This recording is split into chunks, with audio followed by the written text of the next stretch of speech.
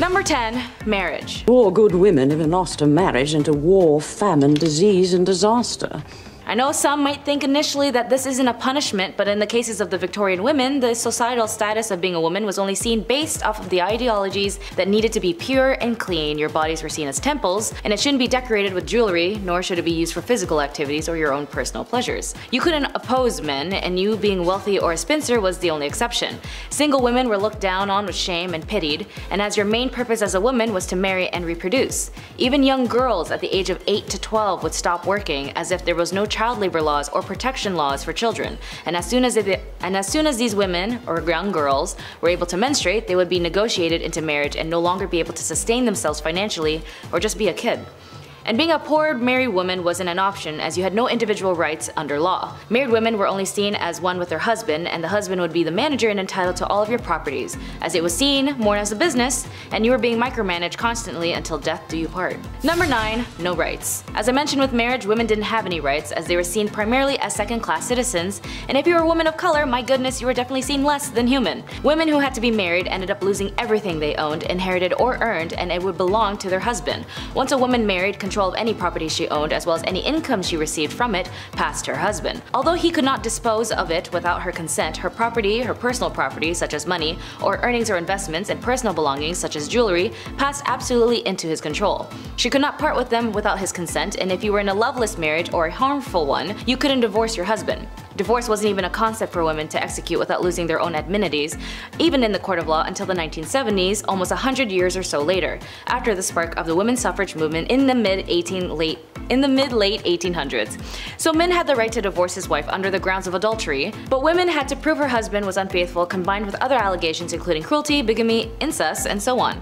Luckily, in the 1857 Act, divorce did become a bit easier little by little, but again only under the impression that the woman had legal grounds and proof her husband was unfaithful with evidentiary support to back up her claims. And even then, she could finally earn some of her possessions. As for the husbands, if he wanted to divorce his wife, he didn't have to do anything, he could just say it and it would be fine. Number 8 8. No education. To me, education is extremely important as it was something I learned growing up in my family, that education liberates you to understand yourself, those around you, and the world better. And for women in this era, they were received less education than men. They were banned from universities and could only obtain low-income paying jobs as she was not allowed to follow a profession as they were all closed to women. And the irony of them having Queen Victoria as the reigning accolade of this era, a woman and women of these times couldn't get an education to liberate herself or her children from defamation if the husband no longer sees her as a useful asset. So for women women, especially those who could afford it, was raised in a privileged household with financial backings and exceptional family background, her education was only seen as accomplishments. Like, oh darling, she's a very accomplished woman, is something you might hear in these type of movies that depict the era, which only indicates that she had artistic talents like singing, dancing, and knowing foreign languages, and anything to help earn them a husband, and be a benefit in the house. Even doctors at this time believed that if a woman studied too much education, she would stunt her ability to reproduce. Wild as hell. And when university allowed women to attend their lecture halls, their families would actually forbid them from going worried that it would prevent them from finding a husband. Number 7. The right to work. Work was only available to those who had no choice, as their societal status prevented them from leveling up to the ladder to have a better life independently. Even more so women who were labeled as part of the working class, these women fueled the industrial revolutions, making up to 60 to 80% of the working force in light industries such as cotton manufacturing. Even more so those who were labeled as part of the working class, women of these era fueled the industrial revolutions making up to 60 to 80% of the eh, workforce in light industries such as cotton manufacturing. Women that had jobs outside of the home made them less likely to marry, leaving them with no choice but to stay in, in undesirable situations that made them undesirable themselves. In one study in the Buffalo State, in one study by the Buffalo State had noticed classing women and children together as helpless creatures needing the protection of strong men, they were indignant at the knowledge that women had to support themselves, that they had suffered degrading wrongs as working women. So for some, they'd have to result themselves into committing adult work, or even for some unfortunate circumstances, be sold into adult work as they had often had heavy debts from predecessors or even used as bargaining chips for their partners partners. Poor women were not regarded as the Victorian society as they could not fight back as men had captured these women, straight up kidnapping them, and kept them at their house. Differences in societal classes led to some women being ignored and not acknowledged in society for economic reasons and for the pleasures of some men. Women of the night had no exits of this profession and were stuck in this life, and they would be beaten, tormented, as this was obviously shamed on, as well as being arrested which would lead us to number 6. Number 6. Women who were in prison. In some revolutionary standpoints, being in prison might make you look like a hero or a villain, and as it depends on what you were doing or what you stood for. For the Victorian era, women who had been the most vocal at this time for a multitude of things like women's rights, the women who were caught in the act of selling their bodies in order to obtain financial means would be arrested and sent to prison. But even women who were not adult workers would be arrested. Women who had premarital pregnancies, truancies, or adultery, or kept bad company would also be arrested. They would be sent to prisons or reformatories, as for women of these times, a small step off of the Victorian pedestal made for a long fall. Women sent to prison in the Victorian England were subjected to regimes whose project was to enforce idealized femininity. This individualized treatment aimed at more regeneration than discipline and was administered by an entirely female staff aided by middle-class philanthropic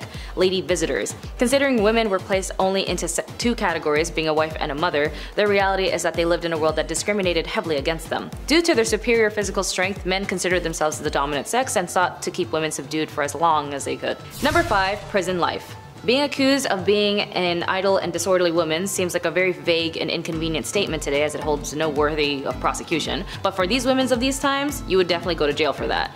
These roughly defined offenses were common charges against women in the 18th century. At least in some records of the names of these women have survived, there are two on the list who are sadly identified only known as an unknown, unknown woman, cannot give any account of herself and the other being accused of being a vagrant and an idiot. Which, of course, being an idiot isn't a crime unless you're doing something idiotic that hurts another person then yeah, I guess being, being an idiot is a crime. It is possible that up to two-thirds of prisoners in the House of Corrections, like the one at the prison called the Wakefield House of Correction, were female.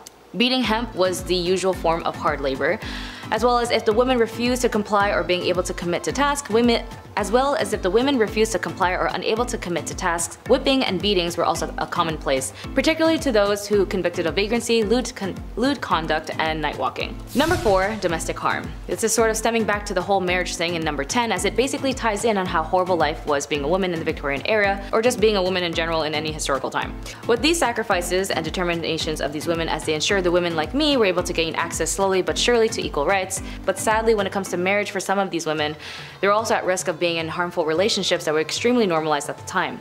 Violence against women and the lack of protection was common as there were no laws for the physical violations they had to endure. After all, when you got married, everything you owned belonged to your husband and so did your body with or without consent. Domestic violence was an issue that captivated the Victorian imagination due to the unprecedented visibility that domestic harm began to receive in the press and the emergence of an ongoing debate during the 1840s and the 1850s. Domestic violence was an issue that captivated the Victorian imagination due to the unprecedented visibility that domestic harm began to receive in the press and the emergence of an ongoing debate during the 1840s and 1850s about the domestic harm and other marriage issues that affected women. Like all laws that slowly opened gateways to other clauses, the 1828 Offences Act that targets working class violence helped a cultural shift on the subject and domestic violence became a topic to the public. Number 3. The Angel of the House or the angel in the house. When it came to the liberation, it all stemmed with the women's rights groups fought for equality and over time made strides in attaining rights and privileges. However, many Victorian women endured their husband's control and even cruelty including sensual violence, verbal abuse, and economic deprivation.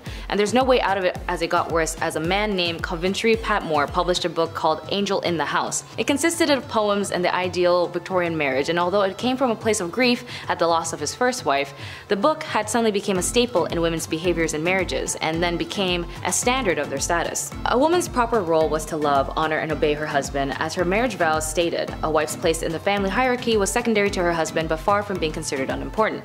A wife's duty to tend to her husband and properly raise her children were considered crucial cornerstones of social stability by the Victorians. Representations of ideal wives were abundant in Victorian culture, providing women of their role models, and the Victorian ideal of the tirelessly patient, sacrificing wife is what depicted the angel in the house. And for these middle class women, mimicking the angel in the house gave them more opportunities to find a successful match in marriage.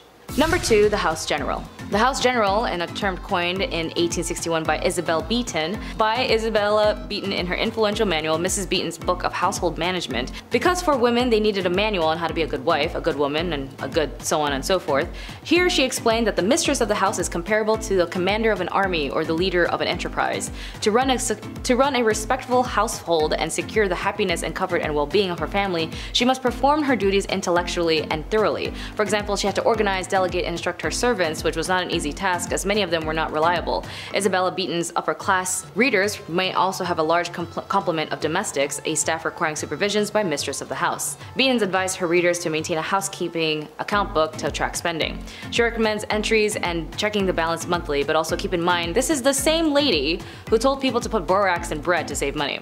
This may not seem like a big punishment for some viewers, but if you were told to this may not seem like a big punishment for some viewers, but if you were told that you needed a manual to how to live your life so you wouldn't be kicked out of society, that's not something that's a preference today, is it? And number one, asylum. Now, if you're a woman who was out of the realms and just didn't want to be part of society like everyone else, maybe just suffered a series of mental health issues or even just looked ugly, you might find yourself in an asylum. They had such ridiculous reasons to lock up a woman, as I mentioned in the prison section on this list, from being a vagrant, disorderly, or whatever the case was, you'd go to prison, or even more so, to the asylum. For some families, if they just didn't know what to do with you, they just toss you into the asylum for not being complicit. In an investigation by a very passionate and amazing writer named Nellie Bly, she had experienced firsthand on the field of the mistreatments, the devastating conditions, and harm patients had to endure. In her report published in 1887 and later published in the book 10 Days in the Madhouse, it caused such a sensation it prompted the asylum to implement reforms and shed the light on the significant impact on American culture. Anyways, being a woman was tough as hell in the Victorian era, but with their determination for the right to vote, the women's suffrage movement that enforced lawmakers to ensure them to obtain sustainability today is the reason why there are so many generally incredible women who are able to become who they want to be. And it is important to note those who do not know how to look back at where they came from will never get to their destination. So be sure to read up and learn a lot. After all, the answer in our future is laid dormant in our past. Satan's ladies. Back in the Dark Ages, women were very much oppressed and incredibly misunderstood. Honestly, if one is to look at the percentage of women who were and weren't accused of witchcraft, and just how easy it was to, you know, quote unquote, prove a woman was a witch, the data is very much skewed. Granted, I'm not about to jump into generalized witch hunt torment right this moment, so bear with me. So back in the Dark Ages, some folks thought that women were Satan's incarnate, and ergo were predisposed to sin, and therefore, by that um, logic, they had to be witches. Trust me, I know the common sense was missing from that statement. There were four reasons why women were considered to be part of the um, devil's posse, if you will. For starters, it was believed that women were foolish and gullible, which is why they turned to magic. Yeah, that hurt my brain to say. Number two, because women are insatiable when it comes to carnal pleasures, they seek out help from the devil to satiate their needs. I can think of better ways, but alright. Number three, women talk a lot and allegedly speak lies because we talk too much.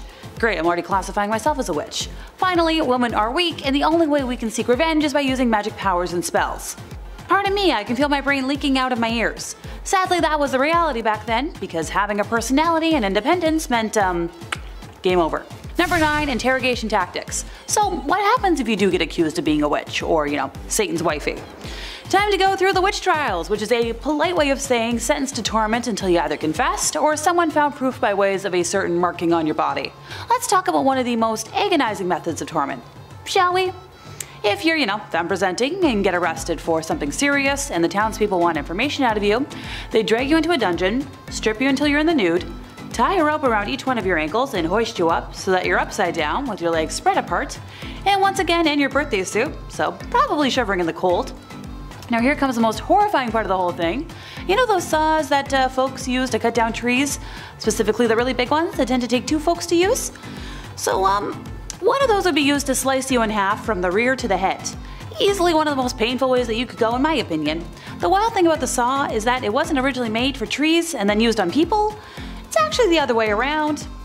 Pardon me, I'll be shuddering for the rest of today. Number 8, that time of the month. Aunt Flo, the Red Sea, Shark Week. Heck, the event has so many monikers, but, but those who experience it can agree that it's a pretty miserable period of time. Back in the day, folks didn't have the same kinds of resources that we have in today's age, so a lot of people really had to get creative. They would use rags or other linens to fashion, you know, a pad, but underwear wasn't all that popular yet, so they had to find a way to keep things in, um, place. Some folks would fashion a makeshift medieval tampon of sorts where they would wrap cotton fabric around a twig, which sounds super uncomfortable if you ask me. Other folks would seek out bog moss because it was remarkably absorbent, and funny enough the name B-L-O-O-D moss became synonymous with it because of its use of treating wounds and in period products. If you didn't have access to those things, some folks would simply resort to wearing red the whole time so everything just sort of blended in. I love the lazy approach. Makes sense to me. Number 7. A ban on stripes. Might as well touch a little more on some dark age fashion rules. We've all met somebody in our lives who's way too concerned with what other people are wearing, but back in the dark ages, you actually risk the possibility of coming across some very real um, fashion police who are actually able to issue a fine should your fashion choices not be of the local dress code. I'm in trouble. Sometimes it wasn't even just a fine, some serious fashion faux pas could actually lead to your imprisonment or even your death. Stripes were definitely a main culprit in these times, since striped clothing was seen as a garment of the devil. Okay, I'm good. If you need evidence, because you know, I know that sounds wild. Specifically in 1310 in a French town, there was a local cobbler who was put to death because he'd been caught in striped clothing. Not only were members of the clergy not exempt from this rule, since they were pretty highly ranked at the time, but now there were animals. Poor zebras. They were referred to as the beasts of the devil. I'm so glad that's something that's faded with time. Number 6. Quickie Wedding. I'm sure we all know at least one couple that got married way too quickly in our opinion, but thankfully in today's modern age, it's relatively painless to end that, you know, if things go bad. Heck, you know, drive-through wedding chapels are a thing nowadays and have been for quite some time. Well, so marriage in the dark ages was quick and easy, but also kind of difficult to prove. If you and your loved one really wanted to get married, all you had to do was say, we're married, and then, um, it's legal. Of course, this led to a whole pile of spur of the moment type marriages, especially considering how schmex before marriage was widely condemned at the time. While I'm sure many people who are divorced would have preferred if their marriages were this easy, this led to people, of course, taking advantage of this uh, difficult to prove thing. Women, in particular, were at risk of getting hitched to a man who might want to take you as his wife for the night, but then the following day, after getting what he wants, he'd deny ever agreeing to the union y'all had. This is why many women tried to get at least one witness to the union, just in case. Nowadays I believe at least two witnesses are needed for the marriage certificate, but feel free to correct me if I'm wrong. Number 5. An uncommon plague. I know, no one wants to hear about a plague ever again after recent history, but I promise, this one isn't your typical version. The Dancing Plague of 1518, or Dance Epidemic of 1518, was a case of dancing mania that occurred in what is now known as France, from July of 1518 to September. The outbreak began when a woman by the name of Frau Troffea began to dance fervently in the street for a week straight. Oh, my poor ankles. Soon, three dozen others joined in on the dancing chaos, with the plague claiming 400 victims by August. By early September, the outbreak began to subside as the dancers were sent to a mountain shrine to pray for absolution. Guess we found our fellows took inspiration. It's unsure just how many, but a small number of victims actually did pass from this epidemic, which is wild. Historical documents, including physician notes, cathedral sermons, local and regional chronicles, and even notes issued by the city council are clear that the victims danced, but nobody knows why. There are many theories behind the phenomenon, the most popular being stress-induced mass hysteria. Other theories include ergot and religious explanations. It'd be interesting to see if this ever pops up again in modern times with how stress levels are these days. Hey look, sometimes a girl just wants a flash dance moment without judgment, okay? Number 4. Divorce by combat. Yeah, so people could get divorced. But it was a heck of a process. Divorce by combat appears to have been a form of trial by combat, which was when accusations were dealt with between two parties where there were no witnesses or a confession, and whoever won the duel was deemed to be Right. The rules for a divorce by combat, as we know it, come from Hans Talhoffer's Fruchtbucht. I apologize if I got that wrong, which was written in 1467 and are as follows. The man would be placed in a waist height 1 meter deep hole with one hand tied behind his back, while the woman was allowed to move freely. Both parties wore practical clothes, which is described as a one piece bodysuit with stirrup legs. The woman was armed with three rocks, each wrapped in a length of cloth to form a kind of swinging club. The man was given three normal clubs that matched the length of the woman's cloth to ensure that, you know, their ranges were equal. The man was not allowed to leave his hole though. To further limit him, if he touched if he touched the edge of his hole with either his hand or arm, he had to surrender one of his clubs. If the woman attacked him while he was surrendering his club, she in turn forfeited one of her rocks. Yes, the rules place the man at a clear disadvantage, but it's important to remember that it's unlikely that the woman had any kind of combat training. Furthermore, in any kind of physical contest, it is likely the male would have had an advantage in size and strength at the time. So the handicaps placed on the man were to try and make the fight as fair as possible. Which, you know, it's pretty impressive for the time period. The conditions for victory, though, are unclear. Some historians believe that it was unlikely that the fights were to the death, Instead, it was probably down to whoever was judging this thing to decide when one of the fighters had been incapacitated. Since both parties were hitting each other with big blunt objects, it seems likely that many trials ended with one party being knocked uh, unconscious. Thankfully, divorces are a lot less lethal today. Mostly. Number 3. Toothworms. So dentists weren't common in the dark ages, but barbers were, and wound up being a one-stop shop for quite a few different services. This guy did it all. Cavity, toothaches, teeth worms, you name it, or in a lot of cases, bullet.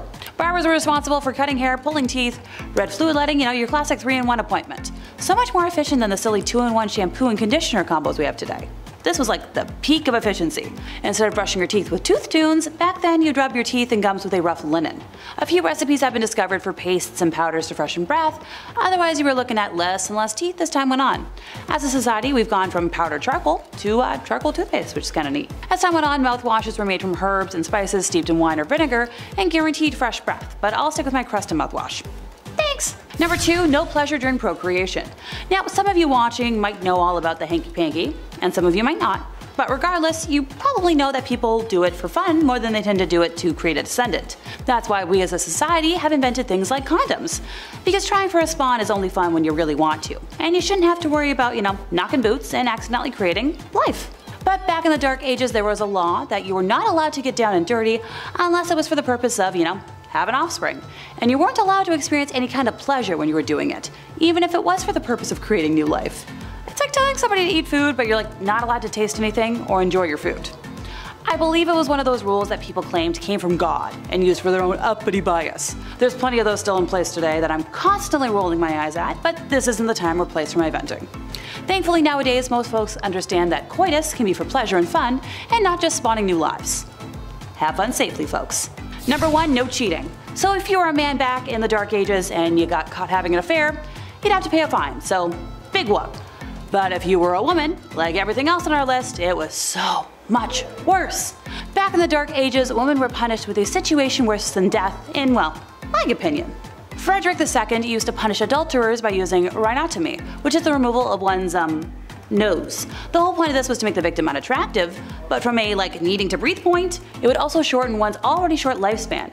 Another fun body part removal option was losing an ear, and honestly I can't figure out which would be worse, so let me know what you think in the comments. Number 10. Drowning. Drowning as a form of punishment was not a common practice in ancient Egypt, at least as far as historical records and archaeological evidence indicate. The ancient Egyptians had a legal system with various forms of punishment, but the various methods were typically less severe than drowning. But in records of the Code of Hammurabi, which was one of the oldest and known legal codes in human history, it provided a comprehensive set of laws covering a wide range of aspects of daily life including civil, criminal, and commercial matters. One of the most famous aspects of the code is the principle of an eye for for an eye, a tooth for a tooth, which laid out specific punishments for various offenses. Mentioning drowning if there was adultery with a neighbor's wife, or if you had intimate relations with your daughter-in-law, more or less these punishments would go both ways, but interestingly enough, the laws depended on the person. Number 9. Disinheritance. In ancient Egypt, inheritance and property rights were complex and evolved over time, with some variations depending on the specific period and social status of individuals. Generally, women did have rights to inherit property, but there was significant differences between men and women in terms of inheritance. During the early dynastic periods, women had relatively more rights and they could inherit and own property. However, as the society became more stratified and centralized with the rise of the pharaonic state, inheritance laws became in favor more for males. By the time of the Middle Kingdom, women's rights to property inheritance were gradually eroded. Property, especially land, was usually passed from father to son. Women could gain property through marriage contracts, dowries, or gifts, which they could then pass on to their children. But if they lose their inheritance, so do their children. Thankfully, there was legitimate ways of structuring a will, making unequal distributions of disinheriting a person so to minimize challenges which do not involve corporal punishment. These include a gift conditional upon the recipient not challenging the will, a no contest clause diverting assets outside the will by writing a life insurance policy into trust or passing assets through the will to a secret trust. Number 8. Banishment. In ancient Egypt, as in many ancient societies, the legal system was complex and the punishment for various offenses could vary depending on factors such as the severity of the crime, the societal status of an individual involved, and the time period in question. Banishment was one possible punishment, but it was not the common form of punishment. Banishment in ancient Egypt was being expelled from a community or city was generally used for serious offenses or crimes. It was a severe punishment because it meant the individual was cut off from their community and likely left to fend for themselves in the harsh environment outside settled areas And for women, it was typically a rare occurrence as the legal system in ancient Egypt was based on the code of law that changed over time, and evidence suggests that women could be the subjected to various forms of punishments for their crimes including banishment. Number 7 Punishment. More commonly, punishments for women in ancient Egypt might have included fines, corporal punishments, or forced labor. For serious crimes, especially those that threatened the social order or involved treason, more severe punishments like execution might be applied, but in some cases for less serious offenses, women might be required to pay fines. These fines could be in the form of money, goods, or livestock. Women, particularly those of lower social status, could be sentenced to perform labor as a form of punishment. This might involve agriculture work, construction, or other forms of manual labor. Depending on the nature of the offense, a woman property or belongings could be confiscated as a form of punishment. As mentioned earlier, banishment was a possible punishment for serious offenses. Number 6. Beatings. In ancient Egypt, like in many ancient societies, corporal punishment, including beatings, could be a form of punishment for women, particularly for offenses that were considered serious or morally reprehensible according to the prevailing nature and culture and legal norms. It's important to note that the application of punishment varied depending on factors such as societal status and specific time period and the region within ancient Egypt. Corporal punishments such as whipping, beating, beating, or other forms of physical punishment could be administered for various offenses. This might be more common for crimes like theft or adultery. Examples would be like switches, flexible branches, or vines could have been used for beatings. They would be capable of inflicting pain without causing severe injury, as wooden paddles with a flat surface could also be used for beating as well. They would also have been effective in delivering blows to specific areas of the body, and the simplest form of beating would be involved with the hands and fists. This method would also be easily accessible and wouldn't have to require any specialized tools, as well as whips, sticks, and and rods. Number 5. Strangulation. Now for the more morbid section on this list, although stoning may seem like a common thing in this era as a form of capital punishment, whereas an individual is pelted with stones until death actually was not common associated with ancient Egyptian legal practices based on available historical and archaeological evidence. The primary method of execution in ancient Egypt was typically strangulation or impalement. Stoning as a form of capital punishment is more commonly associated with other ancient cultures in the region, such as ancient Mesopotamia or parts of the Levant. In these societies, stoning was indeed indeed known as a form of capital punishment for various offenses, including adultery. Strangulation was the one of the most common methods of execution in ancient Egypt. It was typically used for serious offenses and could be applied for both men and women. In cases where capital punishment was deemed necessary, strangulation was a method of employed to carry out the sentence. Number 4. Lacerations. When it comes to corporal punishments, as I mentioned above, those who do commit adultery might deal with the consistency of beatings or lacerations. Texts speak of thrashing with a wooden stick give 10 to 20 to 50 to 100 or even 200 times. They also mention branding and mutilation of the nose and ears.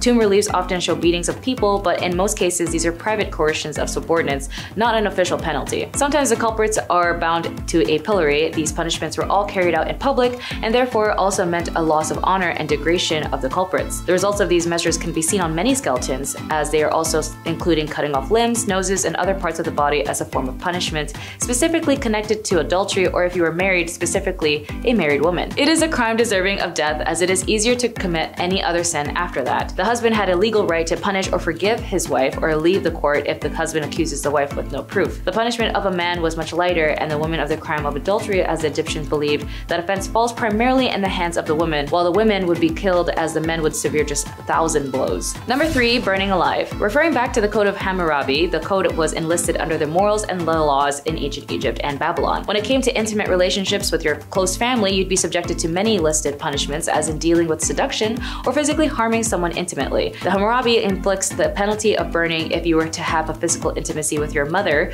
but since this was ancient Egypt, unless you were royal who needed to pull an Oedipus complex to maintain your rule and connection to the monarch position, it wasn't something looked down on but normalize. As this is a civilization that needed a monarch rule at all times to guide the nation, but it is good to note that it was a typical Western interpretation that this era was prone to burning alive people, when the irony was that the Europeans burning women, being witches, or even more heresy were more burned. Number 2. Head be gone. The ancient Egyptians set harsh punishments for those accused of treason or corruption. The death penalty was usually applied by impalement, thumping, or a hundredfold fine, and this applied to both men and women. The decree also referred to the death penalty for someone who steals an animal belonging to the temple and transfers it to another party, while confiscating the property of the thief in favor of the stolen temple. The ancient Egyptians distinguished between the stolen goods and the bear the attribute of holiness and considered it a religious crime that requires execution, and those stolen goods that do not affect the sanctities, settling for the penalties of beating and the fine for the theft 100 times of the value of the stolen items. Number 1.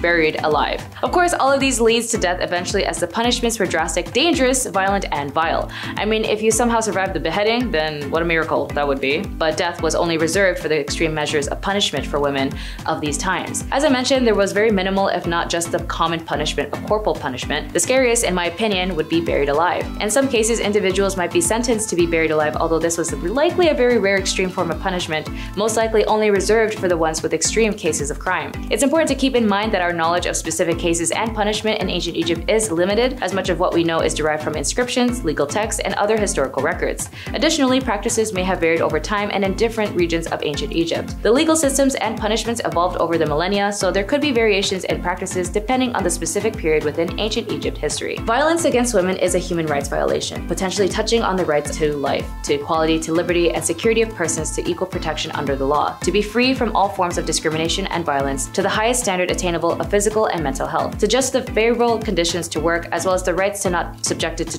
and cruel, inhumane, degrading treatment. And although the cruelty and damages to women was abhorrent and tragic, it still lingers in our day as now 60% of women still don't report crimes due to fear of shame and stigma. But we still need to be safe spaces to those who need reassurance so that they can speak up. We still got a lot of work to do, you know? Number 10, Clara and Katerina Mauerova. Clara was actually a very loving and acceptable mother to her two sons, Andrzej and Jacob, where they would take trips and summer camps and she would play with her sons all the time. It wasn't until a new child entered their home by the name of Annika and Clara and her sister Katerina were part of a cult named the Grail Movement. When Anika came into the picture, it was under the support of Katerina and Clara's sister where she was told by Katerina that Anika was a 13 year old who escaped from a trafficking gang that had physically harmed her. Anika was also apparently very sick and suffered many illnesses which gained Clara's sympathy. Clara wanted to adopt Anika after bonding with her so quickly and even had a mystery doctor tell her how to take care of Anika. This same doctor told Clara that her sons were a problem and needed to be cured from their evil spirits. It was then Clara would do an affluent amount of violating and harmful things to her biological sons like shock therapy, making them eat their own flesh, dunk their heads in water, as well as invite others to her cult to do the same. Anika would also lie to make the aggression towards the boys even worse. It was until a man named Edward had a CCTV camera for his newborn baby when Claire was caught in the act. Clara and her sisters were caught and it turns out Anika was actually a 33 year old woman posing as a 13 year old named Barbara, who had a disease that made her look younger than she actually was. She was eventually arrested as well, which if you've seen the movie Orphan, it's actually based where this was from. Clara got 9 years in prison and her sister got 10 years since her sister Katerina actually knew who Barbara was the whole time. Number 9. Cordelia Botkins However you were in your relationships or affairs, be aware of ex-lovers who might never want to let you go. Cordelia met her lover, a highly regarded reporter, John Preston Dunning, when he was bicycling in San Francisco. At that point, she was 41 years old, 9 years his senior, and although they were already married to their own partners, John was very smitten by Cordelia. John eventually was left by his wife who discovered the infidelity, but for Cordelia, her husband was pretty cool with it. John also had issues with gambling debts, and he was let go from his job because he was a heavy drinker, so he had to move in with Botkins Hotel. Their affair lasted for about three years, but ended when John was rehired to cover the Spanish-American War. When he left San Fran, he told Cordelia, baby girl, I am not coming back, and he even reconciled with his wife because he was leaving for Cuba where he helped survivors of the Spanish battleships during the Battle of Santiago de Cuba. Cordelia, however, didn't care for this and wanted him back, so she sent anonymous letters to his wife Elizabeth detailing her husband's affairs. Unfortunately, it got worse when Elizabeth opened a box of candies addressed to her and her sister with the words, with love to yourself and baby, passionately and fond of candy. Elizabeth and her older sister died from arsenic poisoning and their father was able to decipher their handwriting from the previous letters to Cordelia and Cordelia went to life imprisonment. Number 8. Mary Sue Hubbard It was always in the 1950s where a lot of crap happened that led us to the chaos we know today. And for Mary Sue Hubbard, she is also known as the wife of the founder of Church of Scientology, Ron Hubbard. She was sentenced in the federal court in the 1980s to 4 years in sentence prison for her role in the conspiracy to plant church spies in government agencies, steal government documents, and bug at least one government meeting. She told US District Judge Norma Holloway Johnson that she sincerely and publicly apologized for her actions. Johnson ordered Hubbard, who had been freed pending appeal for her 1979 conviction in the case, to turn herself into the federal officials in three weeks, during the time in three weeks to begin serving her sentence. Hubbard, who lived in Los Angeles at the time, was the last of 11 church leaders who were indicted in the conspiracy in August 1978 to go to prison. The indictments came after the FBI raided the church headquarters back then in Los Angeles in 1977, and the raids were said to be the largest ever conducted by the FBI at the time. Documents introduced in courts by prosecutors in 1979 contended the operatives of the church initiated numerous break-ins at government official offices, including the Justice Departments, and they secretly placed a listening device in the Internal Revenue Service's conference room, and all in a apparent effort to combat what the church alleged government harassment. Judge Johnson commented that she didn't know whether the government had harassed the church, but she quotes, Even if I assumed there was harassment, I still can't accept what you did as excusable. Number 7. Natalia Guerrera Speaking of religious cults, Natalia Guerrera was definitely part of one where she had sacrificed her own two-day-old infant and burning him to death as part of a satanic ritual. She was finally apprehended by police after evading capture for two years. Just two days after giving birth, Natalia agreed to have a baby, Jesus, quote-unquote, killed after the leader of Antares de la Luz cult and the father of the child, Raymond Gustavo Castillo Gaete, declared that the infant to be an antichrist and that the sacrifice would help prevent the end of the world on December 21, 2012. Natalia had previously stated in her defense that she was drugged at the time of the murder, but a forensic psychologist declared that the members were not under the influence when the sacrifice was carried out. After her sentence, Natalia managed to flee and was on the run for two years. Investigators noted that she had lived in different houses and even changed her identity in order to evade capture. The police also noted that after being apprehended, she did not show remorse and claimed that she was manipulated by the cult and was therefore innocent. Number 6. Aileen Wuornos Aileen Wuornos was a convicted serial killer as she targeted only men as an adult worker. She had up to seven victims and would target specifically motorists, men who would meet her on the road as she acted as a hitchhiker. She was incarcerated at the Florida Department of Corrections BCI death row for women, and she tried to appeal to the US Supreme Court which was later denied. At that point, she dismissed her legal counsel and terminated all pending appeals. She then would go off to say, in quotes, I killed those men, I robbed them as cold as ice, and I'd do it again. There is no chance in keeping me alive or anything because I'll kill again, and I hate crawling through my system. I am so sick of hearing this she's crazy stuff. I've been evaluated so many times, I'm competent, sane, and I'm trying to tell the truth. I'm the one who seriously hates human life and would kill again. After extreme mistreatment she suffered while imprisoned and the inhumane management given to her by the officers, in her final interview she expressed to the media in quote, You sabotaged me, society, and the cops, and the system. An attacked woman got executed and was used for books and movies and so on. Her final on-camera words were thanks a lot society for railroading my ass. She was later executed by lethal injection. Number 5. Patricia Krenwinkel As of 2022, Patricia Krenwinkel, now 74, was convicted of 7 counts of first degree in August 1969 for the Manson family attacks that left 7 people dead. She was also known as the Manson Girl when she was arrested in Mobile, Alabama. It was during the summer of 1969 where Charles Manson ordered his members to end the lives of 7 people in Los Angeles, including actress Sharon Tate. During the trial, Patricia Trial's attorney, Paul Fitzgerald, suggested that although her fingerprints were found inside the Tate home, she might have been an invited guest or friend. Seemingly unfazed by the possibility of a guilt verdict and a death sentence, Patricia reported spent much of the trial drawing doodles of devils and other satanic figures. All during the trial, she remained loyal to the Mansons and the family. Demonstrated of this unity included walking hand in hand with Atkins and Van Houten, singing songs written by Manson, as well as shaving their heads and carving a giant X on their foreheads.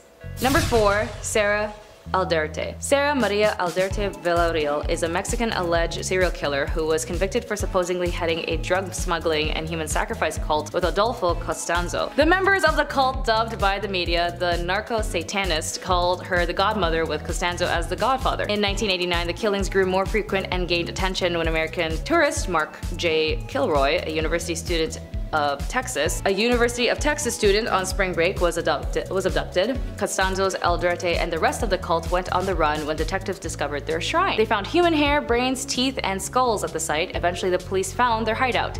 Aldrete was convicted of criminal association in 1990 and jailed for six years. In the second trial, she was convicted of several of the killings of the, head, of the cult's headquarters and sentenced to 30 years and in prison. If Aldrete is ever released from prison, American authorities plan to prosecute her for the murder of Mark. If Aldrete is ever released from prison, American authorities plan to prosecute her for the death of Mark. Number 3. Leonarda Cianciulli Known as the soap maker of Correggio, Leonarda Cianciulli was a serial killer from Italy. Cianciulli was devastated after learning that her son was going off to prepare for the war war in World War II. To keep him safe, Cianciulli offered human sacrifices. She killed three of her neighbors with an axe and made tea cakes out of their remains. Not only would Cianciulli eat these cakes, but she would also serve them to guests and Cianciulli's third victim, Virginia, who was made into both teas and cakes and bars of soap. Once again, this soap was gifted to friends and neighbors and Cianciulli was eventually sentenced to 30 years in prison. Sorta sounds like the femme version of Sweeney Todd, but a Bath and Body Works edition. Number 2. Enrica Marta Often referred to as a vampire owing to the nature of her crime, it is generally believed that Marta kidnapped kids off the streets of Barcelona and put them in her work brothel. It's also believed that Marta killed minors and used their blood and remains in various elixirs. She then sold these elixirs to the rich, claiming that they treated dangerous ailments like tuberculosis. 12 victims have been linked to her, although it's suspected that she killed many more. Although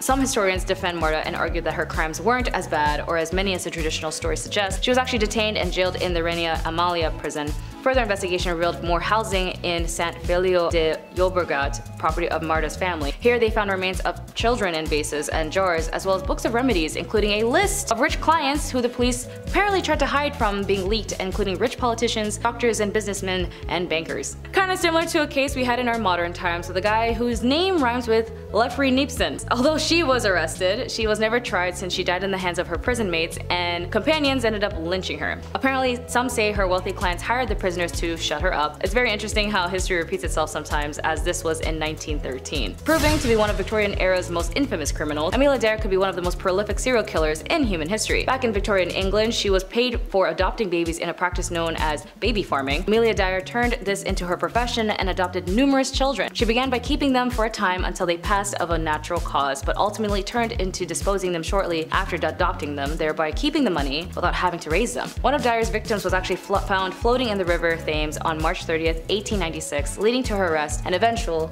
execution. While six victims have been confirmed, it's believed that Dyer may have killed up to 400 children throughout her life. In one of the most sensational trials of the Victorian period, she was found guilty and later hung. Rule number 10 is going to be follow the moral encyclopedia. For ornery young men and women desperately desiring physical and emotional intimacy, yet having to navigate a dating culture that required them to act a certain way, well, it meant self-help books were all the rage. And women in particular drowned in them, thanks to the fact that these books were often written by hypocritical men and had been used since for medieval time to dictate and instruct women on how to become the perfect submissive little doll. Some examples are Henry Butter's ominously titled Maiden, Prepared to Become a Happy Wife and Mother from 1868, and Hayden Brown's Advice to Single Women from 1899. Perhaps most famously though, on advising the morals of young women was the Moral Encyclopedia by Charles Varl, which had been making young women hate themselves since 1861. It was a bestseller of its day thanks to the marketing that only decent and morally driven women would own it. To prove themselves as that woman, Victorian gals flocked to the bookstores to absorb some menial patriarchal crap that goes as follows. Read no novels, but let your study be history, geography, biography, and other instructive books. Also, trust no female acquaintance, i.e. make no confidant of anyone, because we don't want you ganging up together. Oh, I mean, possibly breaking your feeble tongues, having a conversation. Oh, and if you get a pimple, expect nobody to ever love you again. To quote, remember that whereas the character of a young lady is considered angelic, and blemish in it would withdraw the respect men have for you. Rule number nine is to follow a handbook of etiquette for ladies. Following on a similar sales tactic of gaslighting, only perfect and honorable women know all the rules of etiquette. Oh, you don't? Oh, well, that's such a shame. Now you lose all your honor. You know, though, I can help you out. It's pretty convenient that right here behind me, I have this book I wrote and it has all the rules. I mean, can give it to you so you can restore your honor if you give me like $30, I don't know. So, what's in this immensely popular bestseller from the 1860s that bullies women? Well, I'm so glad you asked. First up, keep that bling to a minimal mamas as you should never wear mosaic gold or paste diamonds. They are representative of a mean ambition to appear what you are not, and most likely what you ought not to wish to be. You got a problem with that? Well, sucks. Pipe down because it's better to say too little than too much in company. Let your conversation be consistent with your gender and age. Don't forget to never talk about yourself either as such discussions cannot be interesting to others and the probability is that the most patient listener is laying the foundation for some tale to make you appear ridiculous. If you do open your mouth and your choice is to be a dirty joke, girl, BFF because a double entendre is detestable in a woman woman, especially when perpetrated in the presence of men. No man of taste can respect any woman who's guilty of it. Oh, my personal favorite. Did you break something while a guest in someone else's house? Nah. As a lady, you can't do that. It's not possible. Pretend like nothing ever happened. Don't own up to it and gaslight your host. If at another's house, should you break anything, do not appear to notice it. Your hostess, if a lady, would take no notice of the calamity, nor say, as is sometimes done by ill-bred persons, oh, it is of no consequence consequence. Rule number eight is having a dress for all occasions. Should you not? Well, that's not proper etiquette. As a middle or upper middle class Victorian woman, your job was to spend your day like a brat's doll, changing every few hours. This is because of the strict etiquette of the time, which dictated that certain dresses were for certain activities, which meant you had to plan your errands around your outfit changes that made it possible for you to run your errands. Isn't that fun? Women would start with the morning time dress, which was relatively comfortable by Victorian standards. However, for us, it would still feel like wearing an iron reinforced tube sock on our entire body. It was simpler in appearance and designed for only the home. Want to take a stroll in the park? Out of the morning dress and into the walking dress. The skirts are shorter by several inches and didn't have a train, so they weren't dragging a leaf pile behind them as they went. The materials were usually rich in color and pattern to be admired amongst the greenery. When women returned home from their daily walk, they would change into dress number three, or the afternoon dress for receiving visitors or visiting others. The skirts had a longer train and the neckline was usually a little lower. After some visiting time, dress number four gets whipped out for dinner, and it was the most formal of all casual dresses. Usually silks, satins, velvets, exactly the type of precious material you want to spill food on. Ball gowns weren't for regular wear, but they were required for fancy occasions, so you had to own them too. Rule number seven is to mourn properly. Another dress all women owned was an all black mourning dress. They kept these bad boys on lock for whenever someone died, which was arguably something to look forward to in the Victorian era. Thanks to Victoria being the most extraordinary and dramatic woman of all time when her husband Prince Albert died in 1861, and she spent a bajillion years dressing like a vampire and wearing black mantillas, it set this bizarre fashion and mourning standard that metamorphosized into literal rules. If one was to ignore these rules, it was seen as incredibly offensive to the deceased. Self-help books dedicated to making men and women better at exerting dramatic woe were pretty common to see on bookstore shelves. So, a mourning rule for women was should her husband die, the widow is expected to mourn for no less than two years, while mourning for parents and offspring only lasted a year. Relatives such as grandparents and siblings would only get six months. They dole it out like family inheritance is a little weird. Queen Victoria had favored black crepe, and it became one of the only fabrics that was permissible for mourning clothing. Luxurious silks and satins weren't permissible, only itchy and abrasive materials that chafed the sadness right into you. Women would often wear merino or cashmere instead. No jewelry or ornamentation was permitted unless it served a functional purpose like a button or a clasp, or unless it was a bunch of the deceased's hair and teeth braided in a pattern together in the jewelry. Don't forget your big black hat and grandma's doily tablecloth you dyed black to throw over your face and body. Joy looking like a corpse for two years. Rule number six is to glove up. We love to joke about the whole, oh no, if you show your ankle, you're a Victorian W word. But weirdly, hands were actually way more of an issue. The ankle thing was just because men were still trying to look up women's skirts, even when they were so long the ends of them entered a room 15 minutes after the wearer did. Fingers were actually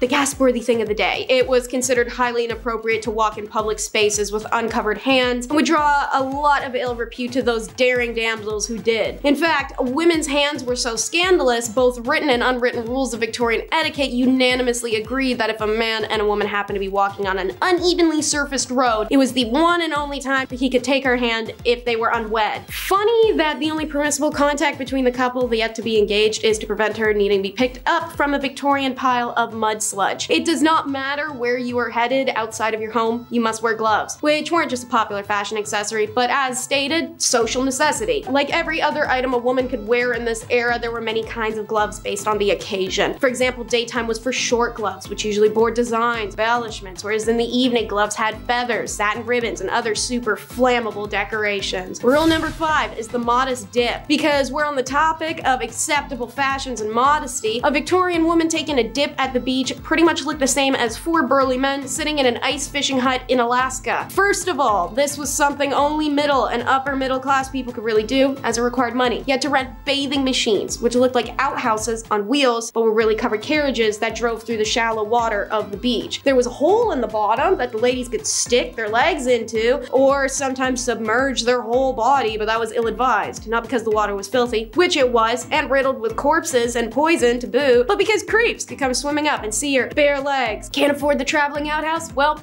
no beach for you. Rule number four is wife sales, a real legal way to obtain a divorce in stuffy Christianized England. Divorce was unpopular, detested, and openly deterred in those days. Seeing as you were discouraged from intercourse with your partner, married them when you barely knew them, and could barely spend time alone with one another, it was a pretty popular request. You would have to sit listening to the clock tick and his nose being clogged but him not blowing it for the 444th night in a row while you disassociate staring into a fireplace. What the hell did people people expect, of course you want out. You don't even know his middle name. Attaining a divorce in the early 1900s was an expensive undertaking, however. So, those who couldn't afford the legal fees sometimes sold their wives to the highest bidder. It was often done with the full consent of the wife, who was usually bought by her family, a new lover, or a female friend. It was an amicable way to say, this was a mistake, get out of my house, good luck and prosper. Rule number three is no flirting. As stated, you were really not supposed to flirt, and flirting to the Victorians included eye contact, talking to one another, looking at another person, breathing their air, knowing their name. Maybe the last one is dramatic, but you get my point. You wanted someone, you had to wait until you met them four or five times, then you could look at them, run into them a couple more times, then maybe request a dance at a ball, and you get one of those a couple times, then maybe you get a sit down chaperone visit, maybe a walk in the park, and a couple more ball dances. Then you can propose. But even then, a Victorian maiden could not be trusted alone with her fiance lest her dainty, fluttering hand rest on the arm of her intended and cause an outburst that would inflame the fiance's uncontrollable base lusts. Even after progressing through several stages of acceptable dating, aka the ball dancing, talking, walking together at a distance, if a man was invited to the woman's home, their acquaintanceship would still have to be under the watchful eye of a chaperone. Single women were never to indulge in behavior with a man that might lead to being kissed or handled in any way. This included strict inspection rules, because I kid you not, men were encouraged to inspect a woman back then. Like many of the stipulations that that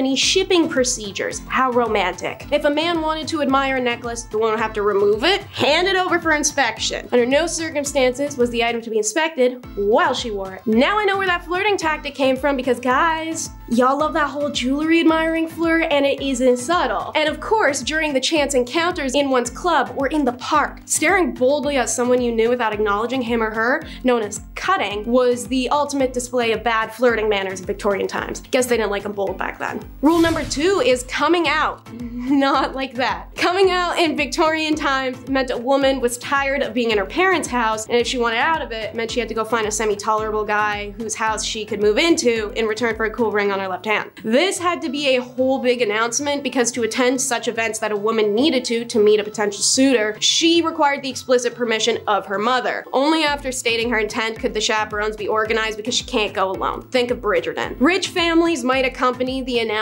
with a series of parties or even a royal visit. Middle class families might hold a celebratory feast. Lower class families might not formally celebrate the announcement at all. Instead, the young woman just changed her appearance to show availability. This could be putting up her hair, donning a long dress, and accompanying family members to social events like church service, church dinners, festival balls. Coming out was best done during the in season, a literal term. It meant the four months from April to July where the upper class families up and down the country would send their teenage daughters to London. After flocking there en the upper classes would congregate a series of balls and dances for the purpose of meeting, matching, and reproducing the next generations. At these events, the race was on to find someone with whom to make love. Again, this phrase of which whose meaning has changed considerably over time. Making love in the Victorian age meant seeking out someone who might one day come to love you. This was done by eligible bachelors going up to girls' chaperones, giving them a little card, requesting a dance with her. Her dance cards would be stacked in cue order in which the men got their dances, and they were only allowed three per woman. End of the night rolls around, and our maiden will choose if she liked a suitor and have her chaperone return the card to indicate, oh yeah, buddy, it's on. Rule number one is how to travel, aka how not to have fun. Here's your duties when you're traveling as a Victorian Victorian lady. Listen up, take notes. Dress appropriately. This is usually a dress similar to the morning gown, lighter and easier to move around in, but most importantly, plain and understated with few details. They would accessorize with dark leather gloves, straw bonnet, and of course, a travel corset, which was apparently said to be much less restrictive. Pick your seat carefully. It was customary for a woman traveling alone to choose a seat either next to another woman or an elderly gentleman. Women traveling alone were seen as prime targets for pickpocketers and thieves. It was usually only done to poor women without chaperone options, but all women, rich or poor, were instructed to keep only a small amount of customary spending cash on their person and give the bulk of their dough to their driver or escort to keep safe. Speak when spoken to, as only men were allowed to spark conversation with a lady, never the opposite way around. Women were expected to respond politely and accept invitations to the refreshment saloon, even if they didn't want to go. That's because of the next rule. Never ever be rude while traveling, especially alone. It was imperative a woman act with the utmost class, even if being accosted by a persistent male passenger. But make sure you don't pester him. If a woman is traveling with a male companion, it's not appropriate to ask him such questions as, when do we get there? How far is it? You know you're making the wrong turn. Yes, you are. I know you are. I've been this way before. Look, that was the wrong way. How much time do you think that wrong turn added? Do you want to stop and grab something to, yeah, no, strictly forbidden. Can't do that crap. But don't forget, you're also a babysitter to the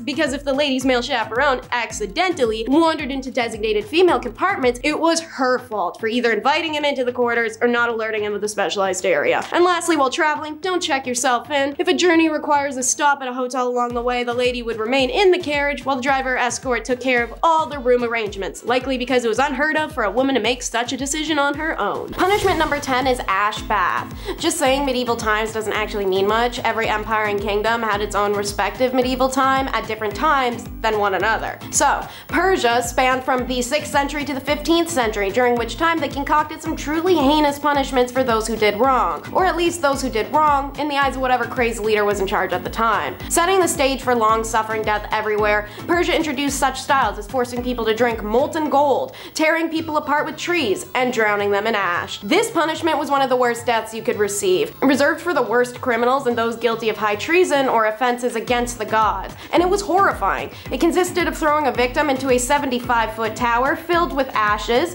You'd break a couple of bones, but it was a soft landing. From outside the tower, large hand cranks were spun by a team of men, sending the ashes flying and disrupting the solid pile so that the victim was pushed deeper and deeper down the tower, suffocating on burnt ash until they drowned in it. If you've dipped your toes in the Bible, you may know there's quite a few people that got this sentence in there, such as a corrupt Jewish priest whose family isn't allowed to bury his remains with a bunch of sassy snaps added. However, the concubines caught planning coups against their leader on several occasions met this fate too. Punishment number 9 is the evil field. So medieval Rome is characterized by the break with Constantinople and the formation of the Papal State, with technically ongoing until its collapse, which marks the beginning of Europe's medieval period. On the topic of being buried while still breathing, the Romans also enjoyed dumping people into holes alive in their medieval times. One famous example is the Vestal Virgins, the priestesses of the hearth goddess goddess Vesta who were sworn to chastity. However, should they break that chastity vow, they had a special acre of grass dedicated just to burying them alive. Like most deaths, Romans like to make a big show of it, and the Vestal breaking her virginity vow would naturally be the Sunday matinee. They had an entire little ritual. She'd be carried on a litter throughout the city in the nude until they reached the Campus Secularis, aka the Evil Field. There, an underground chamber awaited in which she'd be lowered into and sealed inside alive. There was only one ever known instance in Roman history where a Vestal Virgin wasn't slain for breaking her vows, that would be Julia Aquilia Severa, the wife, then ex-wife, then wife again, of Emperor Elagabalus. It's believed that Julia remained with him until they were killed in the year 222, but who's to say they put Julia in the ground after. Punishment number 8 is the finger cinch. China's medieval period was between the fall of the Han Dynasty in 220 CE and the fall of the Mongol Dynasty in 1368 CE. Famous in the Chinese feudal dynasty, this form of punishment punishment was specifically made for the woman who did not obey her master's command. Master can be taken literally, should it be a concubine or a servant, but also figuratively like her parents or husband. The offenders have to put their fingers inside a specialized tool which look like interlocking combs. The device would then squeeze the fingertips, causing immense pain and loss of circulation. If the victim faints, ice water would be thrown on her as a wake-up call. The punishment would continue until the victim was deprived of all their strength. The device was prepared in every shape and size to crush the fingers of any female female, so she may ultimately surrender to male prejudice. Punishment number seven is the four witnesses. The Ottoman Empire was born very, very shortly, around 100 years at most, before the European medieval period started. As stated, it began when Rome broke from Constantinople, and thus it finished alongside the other European nations in the 16th century. How they punish adultery is akin to many cultures. Man cheats, no punishment. Woman cheats, world must be ending. The Ottoman criminal code did not distinguish between fornication and adultery. Zina was the word used for both, and both were unacceptable from a woman of any kind. And when caught in an alleged act of zina, in order to ensure the women were not wrongfully accused, the accusers required to produce four witnesses of good standing that actually observed the act of intercourse as it was happening. Imagine that. You walk in on your wife in bed with your best friend. So you have to run yelling into the streets for four people to come right now and see them while they're still hurriedly dressing so you have some chance of getting her punished. However, even if you do manage to pull off four witnesses, if the witnesses can't be found at the time of the woman's trial, then the accusing husband will be flogged 80 stripes and ignored. So what I'm hearing is as a cheating wife,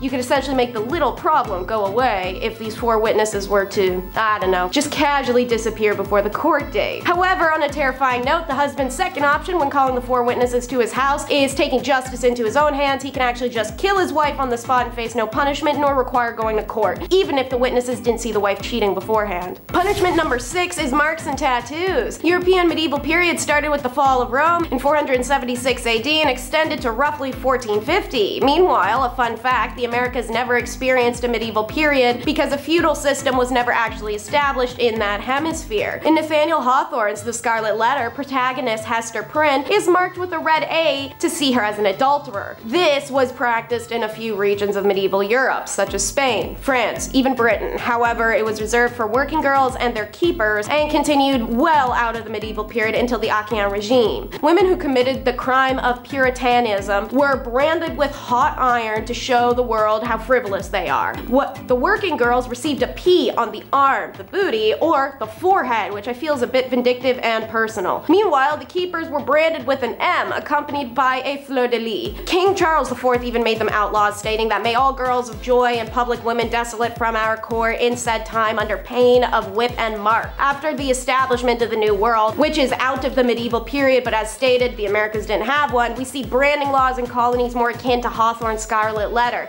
such as the 1658 Plymouth Law that stated adulterers must mark every garment they own to identify them of their crime. Adulterers seen publicly without their letters were subjected to public whipping and further humiliation. Punishment number five is just gross. The medieval and feudal periods of Japan, they hold hands on this one, stretched from 1185 to 1603 CE, and they easily had one of the most disgusting punishments I've heard of for female adultery, suspected or confirmed. It existed from the 12th to the 9th century Japan, however it was more so practiced in remote villages. A wife accused of adultery was punished by a defacing, and this defacing was done by seed, exactly the type of seed you're thinking. So I'm going to be talking around the subject due to a graphic nature. If a husband suspected that his wife had been unfaithful, he and his friends would take her to a remote area where she'd be restrained and the men would take turns standing above her and deface her. When the adultery isn't suspected but actually caught and confirmed, the adulteress would be led through the village naked before tied up in the center on her knees. Paper screens would be set up around her so that the men in the village who were urged to participate in this horrific act of public shaming may have privacy while they deface her. The screens only protected the men from indecency, the adulteress would remain exposed for the public to see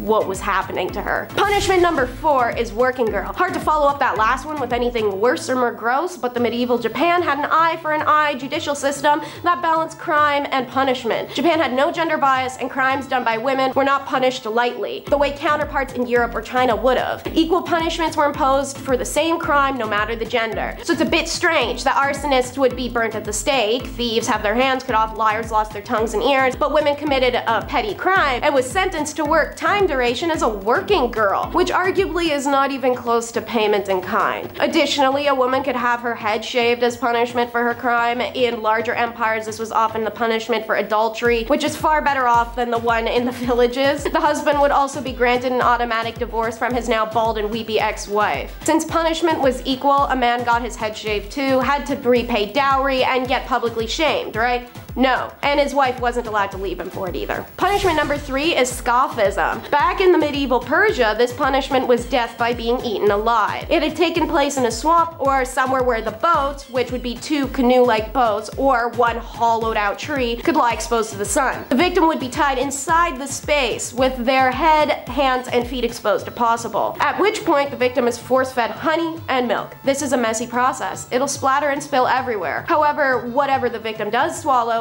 inevitably becomes diarrhea. The idea was that this would attract every insect, vermin, and wild animal in the area. Very soon afterwards, flies and rats, for instance, would show up and start attacking the victim, eating the mixture of milk and honey, but also eating the person alive in the process. Once the diarrhea kicks in, it attracts other animals, especially the rats, who will begin feasting on you as well and sometimes enter you. Death usually came from septic shock or gangrene because the victim would be force-fed this honey and milk every day until they died, meaning dehydration was no issue Religious fallacy, coup attempts, and adultery were all punished in this horrific manner, and many women suffered this end. Punishment number two is wooden horse. This device was used in Europe and Japan in the 14th to 18th centuries, making it predominant in medieval Europe. Initially, the horse was used on women accused of heresy and witchcraft. The Spanish particularly loved this crude device and they invented it. Sometimes they even styled it to look like a horse. Its back was a triangular wedge women were forced to sit on as weights around their ankles dragged them and their rear and hoo-ha area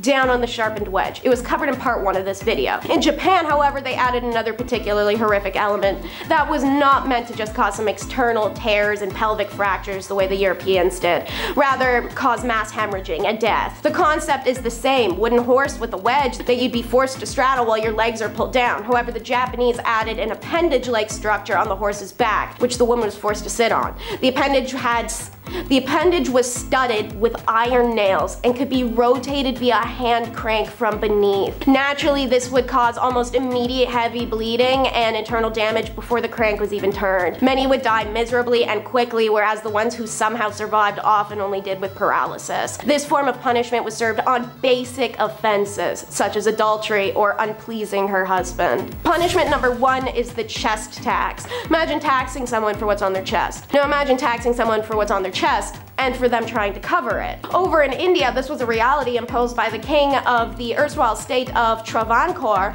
one of the 550 princely states that existed in British-ruled India. The chest tax was imposed on lower-class women if they covered their chest in public, and it was to discourage them from doing so. The purpose of this tax was to maintain caste structure, said Dr. Sheeba KM, an associate professor of gender ecology. Social customs on clothing were tailored to a person's caste status, which meant that they could be identified by merely how they dressed. The village legend of Nangali is about a woman who supposedly cut off her girls in an effort to protest against the caste-based chest tax. Nangali belonged to the Abhava caste. Her community was required to pay the tax alongside many other lower castes, but villagers say she decided to protest by covering her chest without paying the chest tax. When the tax inspector heard she was refusing to pay the tax, he went to her house to ask her to stop breaking the law. She still refused and instead cut her girls off her chest in protest instead and presented them to the tax collector in a plantain leaf. According to the local villagers, Nangali died of excessive blood loss while her distraught husband took his life by jumping on her funeral pyre. Her act was selfless and a sacrifice that benefited all the women of Travancore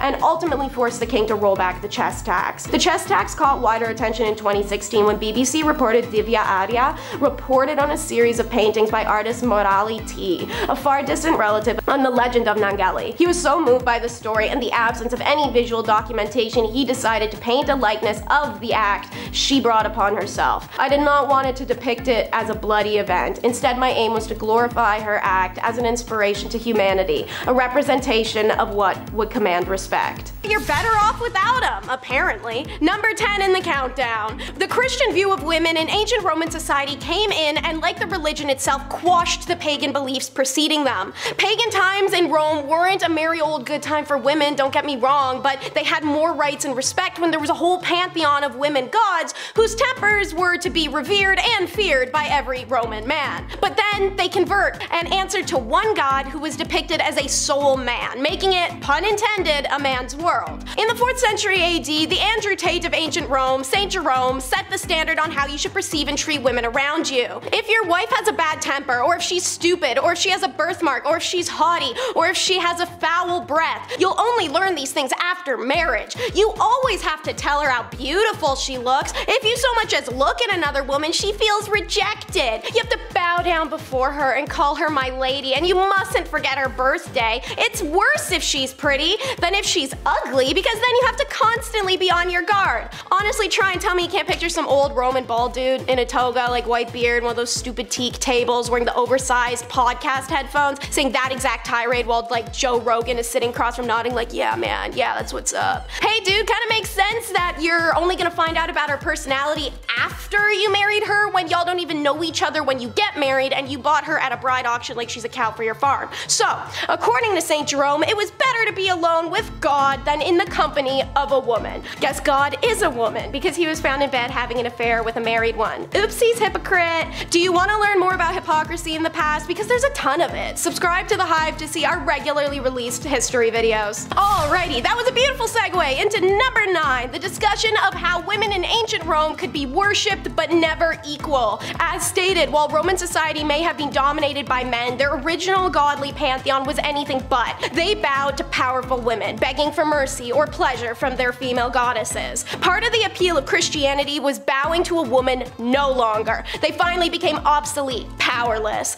But they were anything but powerless in the era of Roman paganism. Of the three supreme deities worshipped by ancient Romans, only one, Jupiter, the king of gods, was male. The other two were Juno, the chief goddess and protectress of the empire, and Minerva, Jupiter's daughter, the goddess of wisdom and war. The Vestal Virgins, aka priestesses of Vesta, were ranked among the city's most important residents, having been appointed to this role before puberty, remaining chaste for the next 30 years of their lives. These six virginal women held sacred duties like preserving the earth, the hearth fire, and Vesta's temple, as it was believed if the fire died, so would Rome. That's a pretty serious job. They also had the most important duties in the kingdom, such as safeguarding the wills of the wealthiest and most prominent Romans, such as Julius Caesar himself, because women were more trustworthy than men, but they weren't to be trusted. Okay, anyway, the priestesses' religious significance gave them unusual power and influence, and they occasionally used it as when they intervened to save the young Caesar from the dictator Sulla. This worship of women and deifying them into earthly roles such as the Vestals had been the saving grace of women's rights in the horrifically male-centric Roman society. Unfortunately, as said, it was swept away in the name of man. Okay, a break from sad lady facts. For number 8, let's cover warrior women. Yeah, now that's more like it. So, from the northern northernmost tip of the border with Asia, plenty of ancient European armies were happy to welcome women into their ranks. But historians always agree upon one exception where the army and navy were almost 99.9% men. Can you guess who it is from the title of the video? Women may have been banned legally from joining the army, but your average Roman soldier would have seen their fair share of female combatants, as well as their own women on the home front. Professor Valentine J. Belfiglio shared that Roman women were capable of close combat as well. Not only were they frequent competitors in gladiatorial shows, but they, like the women of the clans fighting against the invading Romans, were known to take up arms in warfare, albeit in a non-official, unsanctioned capacity. History tells of a few of these women, such as Cloelia, who in 506 BCE freed herself and 20 others from the Etruscan camp and swam them home through enemy spears. For her courage, the Romans erected a bronze equestrian statue with the heroine seated upon it. Belfiglio notes, on the highest point, along the sacred way. When the Carthaginian general Hannibal was invading, women and men inhabitants fought valiantly, and they burned his siege engines together. Hannibal would later face and lose to the honored Busa, who aided Roman fugitives from his war regime. So, in summary, women may have been banned legally from joining the army, but your average Roman soldier would have battled against and sometimes besides women despite that. The name game! It's number 7 in the countdown. Women, like a La-Z-Boy chair, an ice maker, or owning a cat were possessions in ancient Rome. And so, like the college roommate who complained if you moved their toaster two inches to the left, they put their name on it. Not in a label maker fashion, more so in a recycle fashion. From the moment of their birth, women were viewed under male authority. Therefore, the name of a baby girl would be close to her father's. For example, Claudius may have a daughter named Claudia. Augustus becomes Augusta. Constantine, Constantina. Okay, so maybe the rule was just whatever the last letter was, swap it to an A. Ironically, this is why a lot of women's names end with an uh sound. Talk about making historical waves, seeing as our society still inherently perceives names with that ending as sounding feminine. As the empire grew older, women in the ancient Rome were granted more freedom, often by sheer number of children they bore. Three children could allow a woman to become independent. Independence meant no more naming your kids after their dad, which isn't fair anyways because I'm sorry, but who carried this kid for 12 months and then had to push it out? Thus, daughters started being named after goddesses, their mothers, their aunts, and plants. Anyways, number six, once you were old enough for baby time, you were married off, and when that happened, you donned a stola. In my recent video, the top 10 messed up marriage traditions in ancient Rome, I explained the Roman marriage ceremony and also the garb worn. The flammeum was an egg yolk yellow veil worn by brides that they would lift from their face and hair in preparations for vows, to instead fall down on their shoulders and biceps. This placement of the veil signifies her donning the stola. The stola was a type of long overlay. Sometimes it was in the form of a dress itself, but oftentimes it was an additional soft and light drape of material. It was worn by married and respectable women and was also associated with modesty. For those who could afford it, a stola with decorations around its neckline was available. This trim could be patterns, embroidery, beads, and motifs. When initially introduced, the stola was a preserve for the upper class patrician women in the early republic. But over time, the right and then the absolute expectation to wear it extended to the lower class women. The palla, a rectangular shawl, was also worn over it as a cloak and draped over the left shoulder. Any women who were convicted of adultery or were working girls or actresses were forbidden to wear a stola in public. Part of what dictated the stola, however, was number 5, the stupid Oppian Law. So, in 215 BC, the Roman men who were overtaxed passed the Oppian Law, named after Gaius Oppius, the tribune of the plebeians who instituted it. And it was passed one year after Rome's catastrophic defeat at the hands of the Carthaginian general Hannibal. To summarize it in the laziest terms, Oppian Law was initiated by a group of poor people seeking revenge against the wrong source. Instead of trying to coup their government for the taxation, they lashed out at women and their already minimal freedoms. This new Oppian Law limited Roman women's allowance to half an ounce of gold and prohibited them from wearing dresses, multicolored garments, or anything with purple borders as purple dye was very expensive. It also prohibited women from riding in a carriage except on a long journey, pregnant or otherwise. Yes.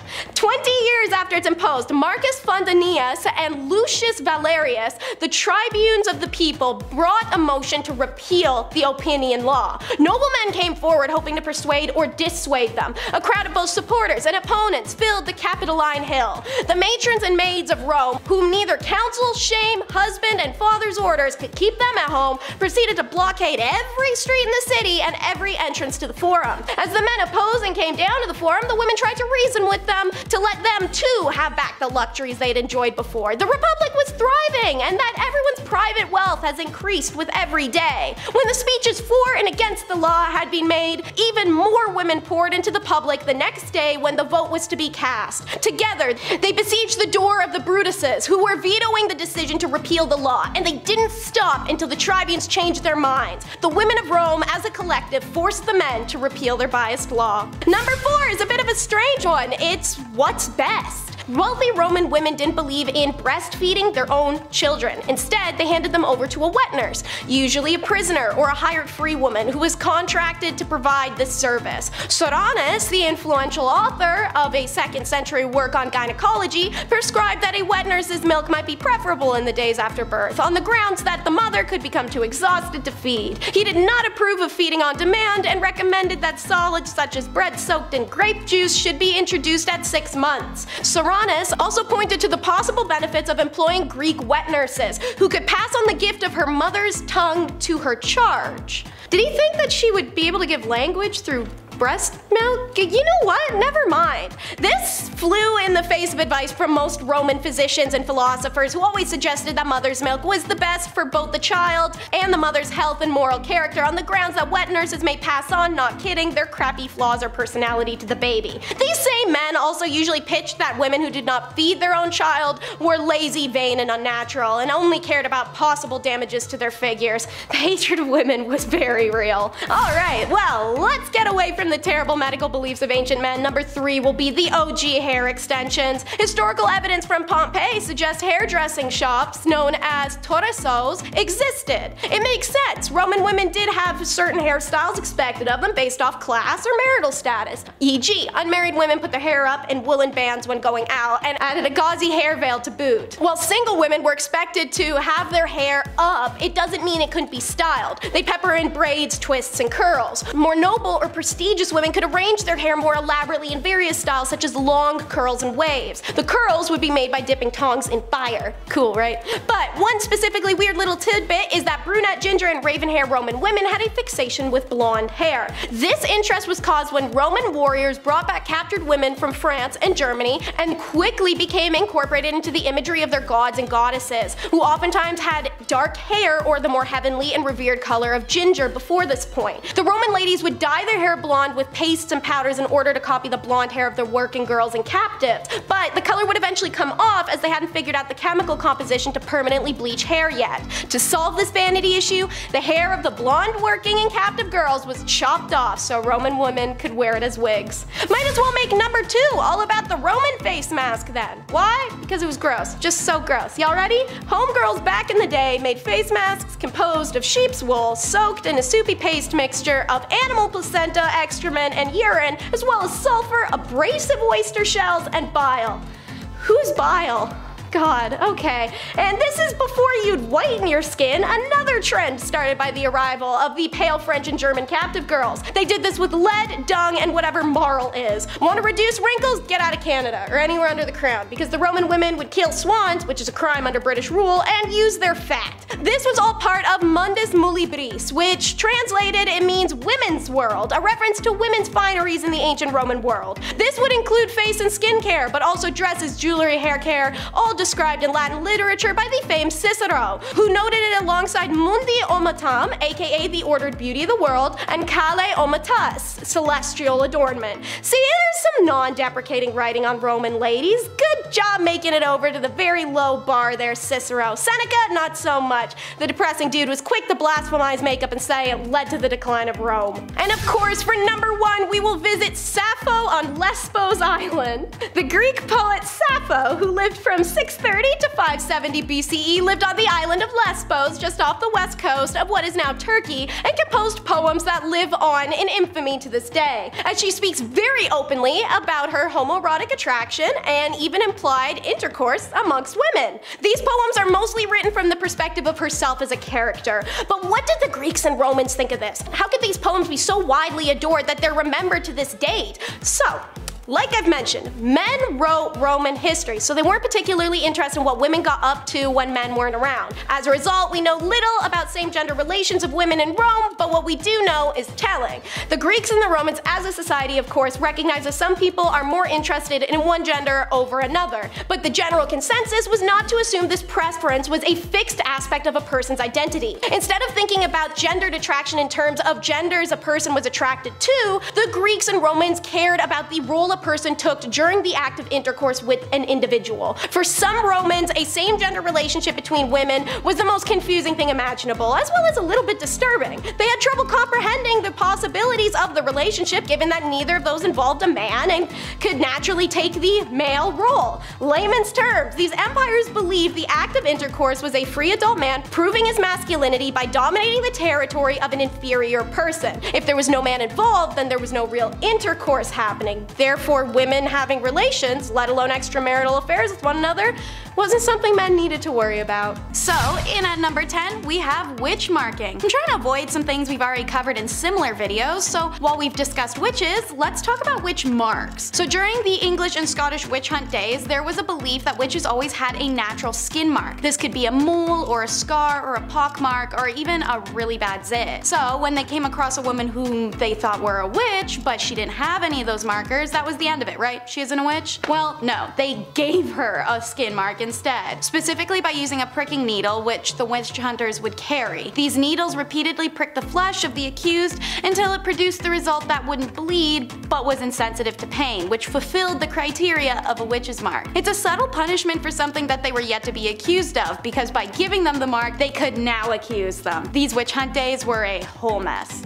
Number 9 is marking your territory. Not in a cool, sexy, I got a tattoo way, more in a Scarlet Letter kinda way. As you'll learn in this video, a woman who cheated or even was single and just engaged in intercourse of her own free will could be classified as a sinful adulterer and cheater and be punished, usually a lot worse than a man. So when Nathaniel Hawthorne wrote The Scarlet Letter, he took inspiration from real life events. The letter, which for the character Hester Prynne was just a red A, was usually the letters AD, which stands for adultery, as outlined by the Plymouth Colony Law in 1658. Multiple accounts across Europe verify that someone who was being marked was to be seen out in public without it, could be subject to public whipping and other public humiliations that ensured a person's social alienation. Like in the Scarlet Letter, when Puritan minister Arthur refuses to admit his sinful side of the act with Hester, he's branded with an A in his chest. In a man's case, while this was of course painful, it was allowed to be hidden. He also didn't have to face the societal consequences the way any woman would have. For number 8, we travel to discuss status degradation. While it still persists today, not everyone knows what it means. So essentially, you do something wrong, oopsies, you lose some of your basic human rights. You could steal something, have relations out of wedlock, cheat on your partner, miss some work. Every empire that has used this tactic has had a variety of ways that you could mess up and receive this punishment. Naturally, in times where a woman was property and couldn't buy things, own things, or do things, or breathe without having a man side-eye her for it, this was a monumental punishment to receive. Under the Roman Empire Augustus, who reigned from 27 BCE to 14 CE, a woman guilty of adultery could lose several rights as a citizen and suffer a financial burden. Noblewomen in the Kingdom of Korea during the Chosun dynasty faced a similar degradation of their societal status if they were found guilty of remarrying as a widow.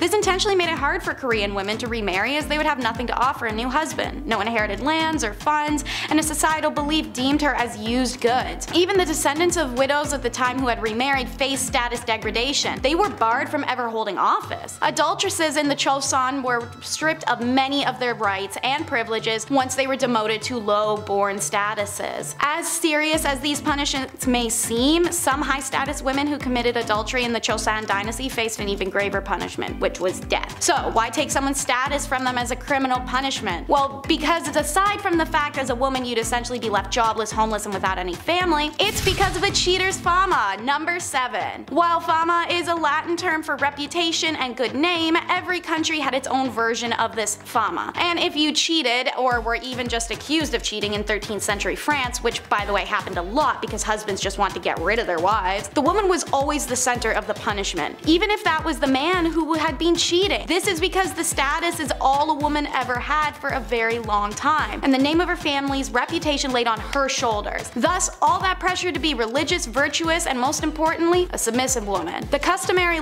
laws of Agan province list public humiliation for both the wife and her lover as the appropriate punishment for adultery. If the man could escape before or even after arrest, he could get off without any punishment and his partner had to face her punishment alone. The woman got no such reprieve, even if she was just the mistress he cheated on his own wife with. In fact, if she tried to escape arrest, it warranted a death sentence. Women whose fama suffered through public shaming walk of atonement were no longer deemed honorable members of society, and seeing as standing of individuals before law at the time was often based on their reputations, what others thought of them, and how they behaved in public, she'd be left as I said, homeless, familyless, and dejected. For my Game of Thrones people, think Cersei. Number 6 is no protection. Get your mind out of the gutter. That's not what I'm talking about. I mean there's no protection from capital punishment. While civil laws were easier to work around by just getting married alone, you can borrow money or property, you can buy things that you couldn't before and sign contracts, the criminal law didn't bend to a married woman as she faced the same penalties as an unmarried one. Now, there are technically one exception, pregnancy,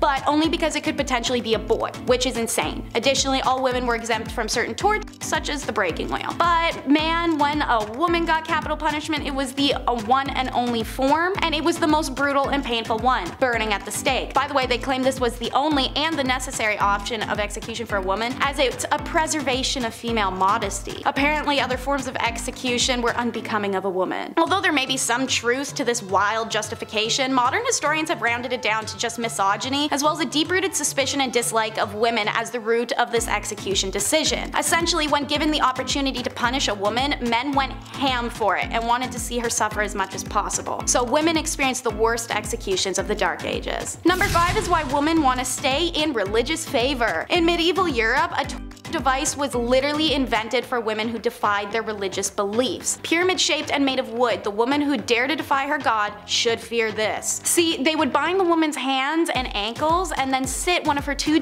openings on the peak of the pyramid. She would then be incapable of shifting her weight anywhere else and was forced to put her weight down on the tip. It would slowly slide upwards and inwards and the longer she was pressed down on it, the more her body split apart. These women would be left for days on end sometimes on this device. The device's slow agonizing death can be compared only to the shame it inflicted as well. The woman was stripped nude and forced to suffer this torture in public for all to see. Number 4 is harems. To start, the word harem is derived from the Arabic Word harim, and it often means sacred, forbidden, and sometimes sanctuary. This was an accurate name as only women's household members and some related male members were allowed to enter a harem, which was an honored women's space. The harem was the ultimate symbol of a sultan's power. His ownership of women, mostly slaves, was a sign of wealth, power, and sexual prowess. The seclusion from public gaze also inflated this power more so. But a royal harem could be a place of filth and stink where chaos and emotions ran high. This was the price of being property, used by the emperors and his sons. You could either be favored or so hated that one day you vanish and rumors of your exile whirl amongst your peers. These ladies usually did not have the liberty to move out of the harem as they liked, but inside the harem they could move around as they pleased.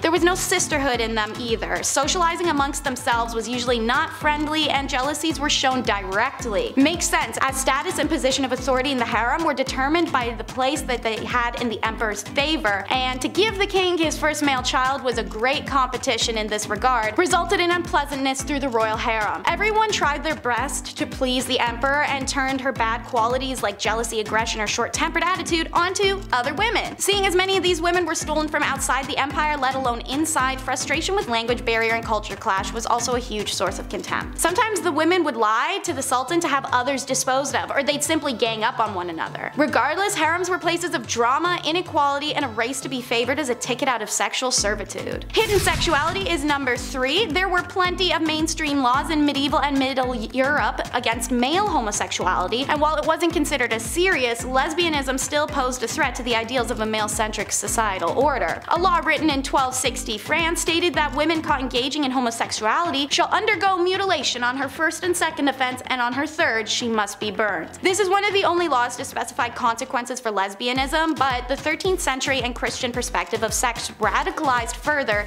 into modesty. Lesbianism was equated to sodomy at that time point and therefore carried a similar sentence death. There is sufficient evidence of lesbians in Middle Ages, most of which come from the church. Turns out many nuns were sexually active lesbians and the church directly acknowledges their presence by having to pass laws establishing penalties for nuns caught having sexual relations with each other. So not only were they having sexual relations with each other, but it was enough that the church had to do something about it. For example, during the 8th century, Pope Gregory III gave penances of 160 days for unnatural female acts. Still, no torture or death though, this is because as long as phallus or other phallus-shaped objects weren't used or involved, the relationship wasn't considered real intercourse. Real intercourse involved procreation after all, so eventually when Christianity upped the ante however, any sexual act that caused pleasure, which now included lesbian intercourse or plain old self-stimulation, was now considered sin. So like most women of the Middle Ages, even bisexual and lesbian women had to settle down for a man at that point. Anyone who struggled with sexuality can imagine how dreadful it would be to live that way. Divorce was a nightmare, which is why it's number 2 in our countdown. Laws worldwide were unforgiving of divorces, literally always to the woman. In Chinese laws, a woman could only divorce her husband if he mistreated her family, not even her. He, on the other hand, could divorce her for anything. Some accepted grounds for divorce were failure to bear a son, evidence of being unfaithful, lack piety to the husband's parents, theft, suffering a virulent or infectious disease, jealousy, and talking too much. A pretty superficial list, but in Chinese society, divorce was a serious action with social repercussions for both parties, so consequently divorces were not as common as they may sound. She could not be divorced if she had no family to return to or if she had gone through the three year mourning period for her husband's dead parents. And speaking of family, during the Han Dynasty, unmarried women brought a special tax on their family and women with babies were given a three year exemption from the tax and their husbands a one year, so there was a huge push to get married. Meanwhile in medieval England, their similarities are stark. They too had a small number of divorces despite an expansive list of reasons to do so, such as there was a discovered blood relation between the individuals, or impotence, or fear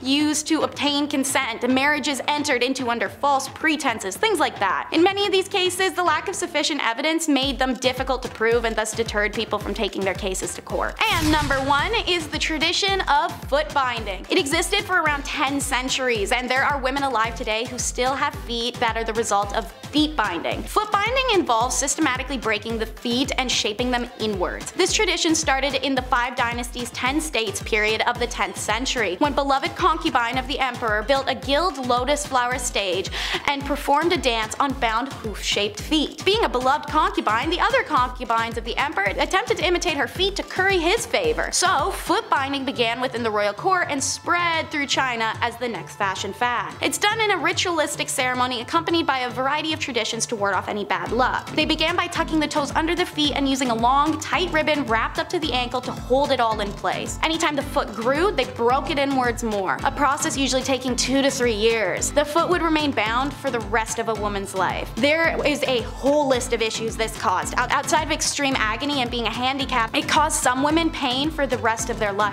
Their walk was changed, as was their posture, and the idealism of a slim body to lighten the pressure on one's feet was all the rage. The binding of feet actually caused the women to develop strong muscles in their hips, thighs, and buttocks, so much that the characteristics were considered physically attractive to Chinese men of the area, aka the girlies were thick. When colonization came to China, Western women boycotted foot binding, going as far as to catch women with bound feet and cut off their bindings. A humiliation because these women would never ever show their bare feet to anyone, let alone even husbands. And many of these women lost their husbands when the Western boycott worked. A lot of girls who had had their feet bound in order to become marriageable suddenly found themselves abandoned by their husbands because foot binding was no longer fashionable at all. And at number 10 is jewelry making. Egyptians saw deep spiritual significance in their jewelry, but also had a love of aesthetics, and those two things combined to create some of the most unique and lavish jewelry found in history. Worn to ward off spirits, protect health, bring good luck, and more, there were even certain colors and designs that were associated to certain gods and powers. And so, Egyptian jewelers followed very strict rules regarding the mystical aspects of their jewelry creations. While a woman usually would not be a metal worker in Egyptian society, it was very common for her to be making jewelry. The tools were smaller and the process required less heat and thus less danger for her. Metalwork techniques included precious metal sheets that were cut and shaped, notched together. Wire work was accomplished through strip twisting. Pieces could be held together with this wire stripping system or crimping techniques. These strips were also how link chains were accomplished, as well as the securing of beads or the backs of earrings. For jewelry designed exclusively for burial, the metal was often quite thin, as the jewelry of the deceased was not subjected to the wares of everyday life. Precious stones, ivory, real flowers, and shells were all common ornaments, as was name engravements, but it was more common with royalty. Jewelry makers were women of high status due to these contributions and the revelry jewelry held in ancient Egypt. For number 9,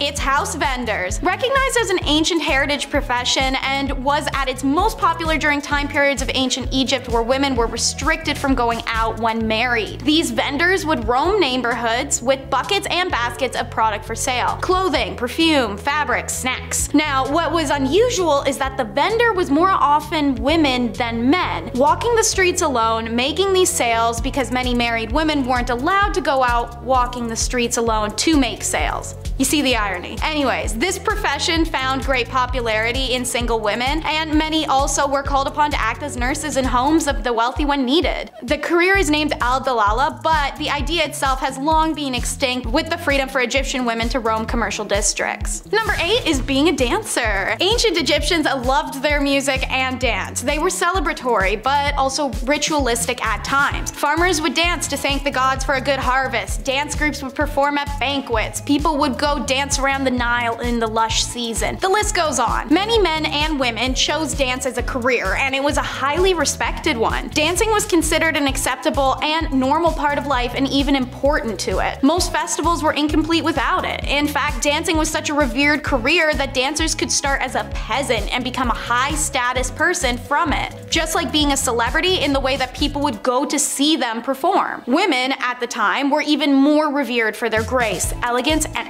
acrobatics. This career had seven types of dance. Gymnastic, movement, pair dancing, imitative dance, which was like acting like animals, group dances, like a historic cheerleading squad, dramatic dance was female exclusive and rested in illustration, war dances, grotesque dance, and then religious chant dances at temples, and lyrical dance, which was usually a depiction of lovers. Wig makers are number 7. Egyptians loved wigs for a reason that surprises many. It helped keep their heads cool. I mean, it also helped with hygiene and scalp pests and looking pretty, but the heat thing is what really gets folks. Many Egyptians had shaved or cropped hair, and the mesh-like base of a wig versus a headscarf allowed the body heat to still escape. And as said, wigs were also a great shield from lice or other invasive bugs. The hair used in the construction of wigs and hair extensions was always human and was either an individual's own hair or had been traded or bought. Hair itself was a valuable commodity ranked alongside gold and incense in a count list from the town of Kahun, which puts emphasis on the popularity of wigs. When hair was collected for a wig, it was thoroughly combed and then sorted into lengths individually. The Egyptians invented a variety of hairdressing tools and the wig makers would take the time to braid or coil the hair depending on the wig style, coating each with warm beeswax and resin fixative so that it would harden when cooled. The job itself isn't unusual, more so the booming industry it had. Wigs weren't worn to this extent anywhere else at the time, and while yes they were functional against the sun, they were more so aesthetic than anything.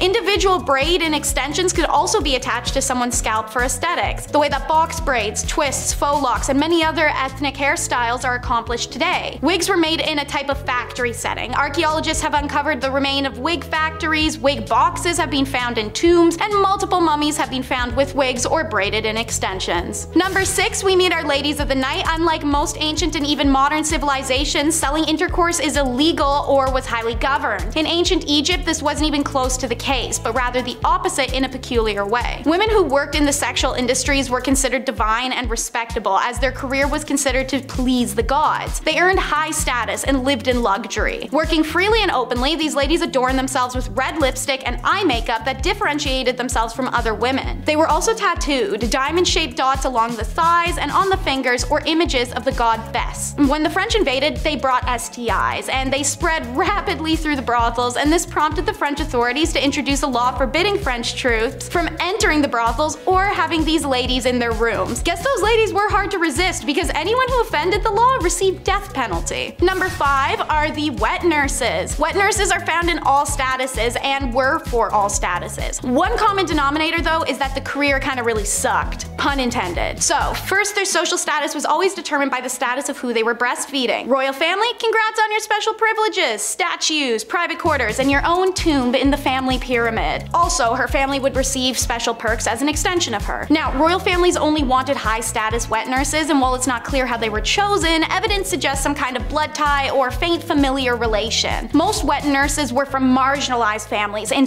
lower socioeconomic statuses and worked under conditions and pre-definitive wages. Wet nurse requirements for any status were intense. She'd have to have given birth at least twice, have a large but healthy body due to the belief that large bodies were more nourishing. Despite that, her breasts should be medium. Too small, not enough food. Too big, the baby's spoiled. In addition to all of these prerequisites, the wet nurse should be sweet-tempered, affectionate, and responsive to her charge. She should also abstain from intercourse because it could reduce her affection towards a child, and they also said no alcohol. A good call knowing what we know now. Wet nurses were women exploited for the products of their bodies. As slaves, they were coerced for their milk. As lower social status women, they were employed for their bodies to enhance their inadequate domestic status. Even her own household suffered physically and monetarily if a wet nurse defaulted or failed a contract. On the same page, surrogates are number 4. This is a widespread practice in Egypt. The first story of surrogacy found in Genesis 16 of the Bible was the story of infertile Sarah having Egyptian Hagar carry her child for her and her husband Abraham. Even Egyptian pharaohs had used concubines to produce heirs. They often married their sisters or aunts, and children born of these marriages were most of the time not in great or functional health and wouldn't survive. Any child born of a concubine for a pharaoh was accepted as his lawful offspring. Now, they were quite limited in their rights and they could only inherit the throne in case of the absence of another more entitled heir. Surrogates experienced similar contracts and status leveling as wet nurses. They were desired to be mothers already, have a bigger, healthier body, and naturally beauty was a desired element as well. Women of low status who made a career of surrogacy often died in childbirth or from hemorrhages due to the repetitive birthing process, but for some, it was the only career they could have. Priestess is number 3, and so while it was a male-dominated field, many women were employed as a priestess or a high priestess at the temples around Egypt. Mostly from upper status, many were married to the priests, which they owed their position in society. Despite this, they played roles in the temple rituals, such as servicing goddesses Hathor, Neith, and Pakhet, or working as dancers, musicians, singers, and acrobats in the temple. The most important priestess was known as the god's wife Amun. This woman was usually the daughter of the pharaoh or sometimes his wife. She usually held a very high position in court and performed important rituals to honor the god Amun. The priestess was in charge of managing the gods' affairs, attending to ritual dances and performances, shaking their rattles and rattling their necklaces, which were long and heavily beaded objects. By the beginning of the New Kingdom in 1550, the title Chantress of Amun was used, and it was usually the wives of the priests who gained these elevated positions as well. The concept of a woman as a priest was unheard of in many kingdoms. A high priestress and the reverence and traditions of female gods being led by women were unusual to outsiders of Egypt who oftentimes restricted most priestly activities to just men. Number two is professional mourners. Okay, so here's a weird one. Professional or paid mourning is an occupation not only found in Egypt, but in China, the Mediterranean, and Eastern Europe. This practice is literally paying a stranger to attend a funeral to lament, deliver eulogy, help comfort the family, entertain, or lay on the ground wailing. There's some range here, depends on what kind of funeral you want to have. These paid mourners made ostentatious displays, messy hair and smudged makeup, wailing, pounding on the ground or their chests, throwing themselves about as they smeared dirt and sand all over their body while they screamed. It's a full spectacle. Now, another depiction of the paid mourners in Egypt is a little more chill. Two women impersonating the goddesses Isis and Nephthys. They were believed to play a special role in someone's death. Most inscriptions of a funeral where they are present as paid mourners, they are on each side of the corpse and their bodies are fully shaved. These women also had to be childless and have a tattoo of either Isis or Nephthys' name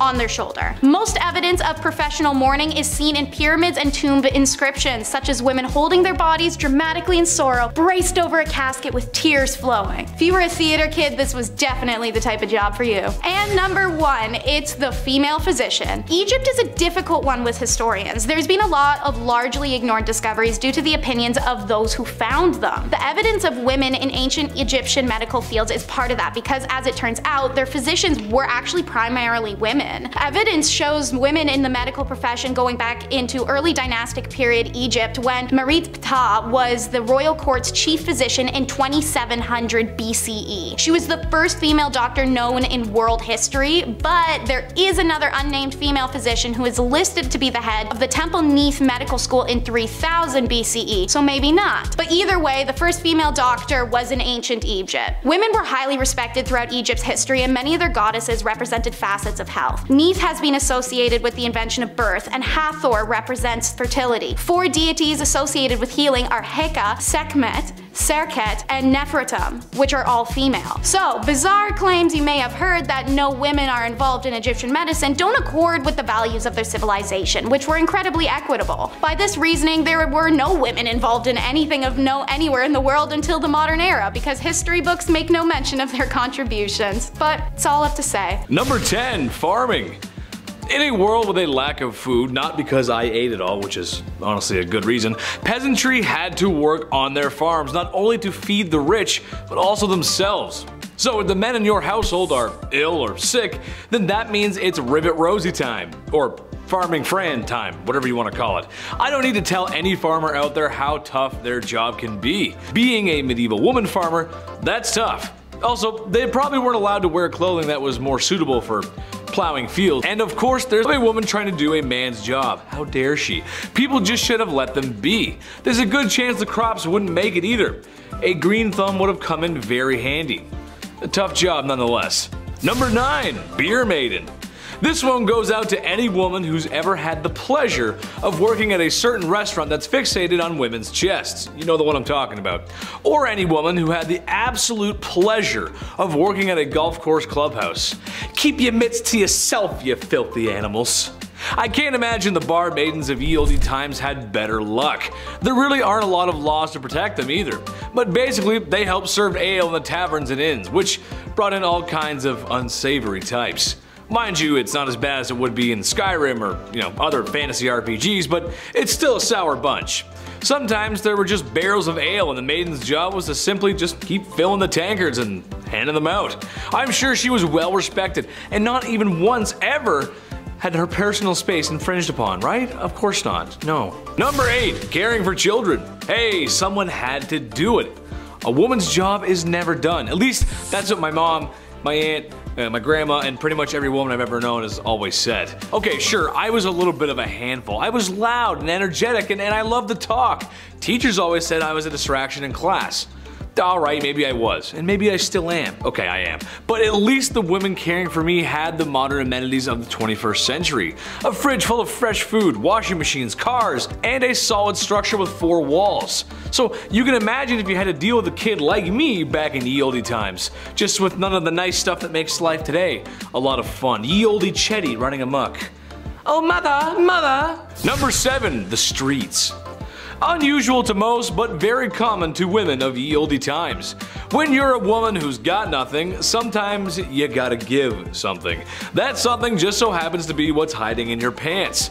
It's a profession that's as old as time, and it will not be going anywhere anytime soon.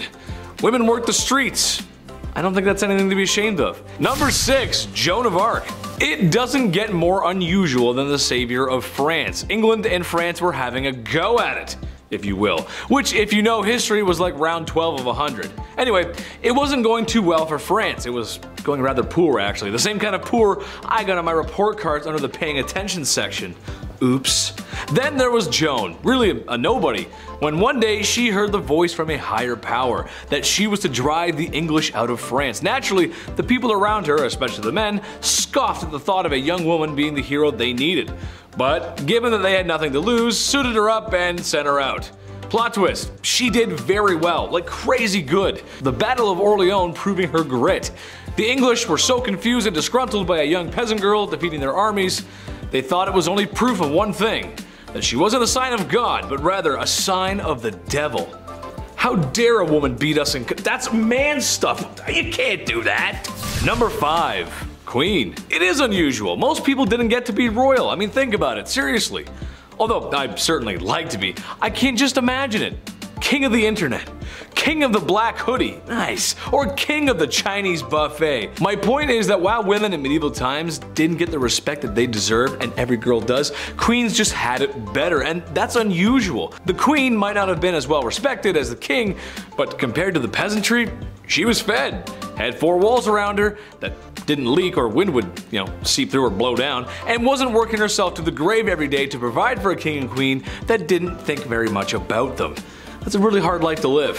Number 4. Cooking. Chief, somebody had to do it. Although, there's something that tells me the food wasn't that good. This isn't exactly Gordon Ramsay's 5-star cuisine. Beans, cabbage, eggs, onions, bread, and of course beer or ale to wash it down. The peasantry just didn't have the same access to food like royalty did. Although with a list like that, it sounds like it's a fast track way to an upset stomach or some really grody gas, dude. It was women who would often be preparing those delicious dishes.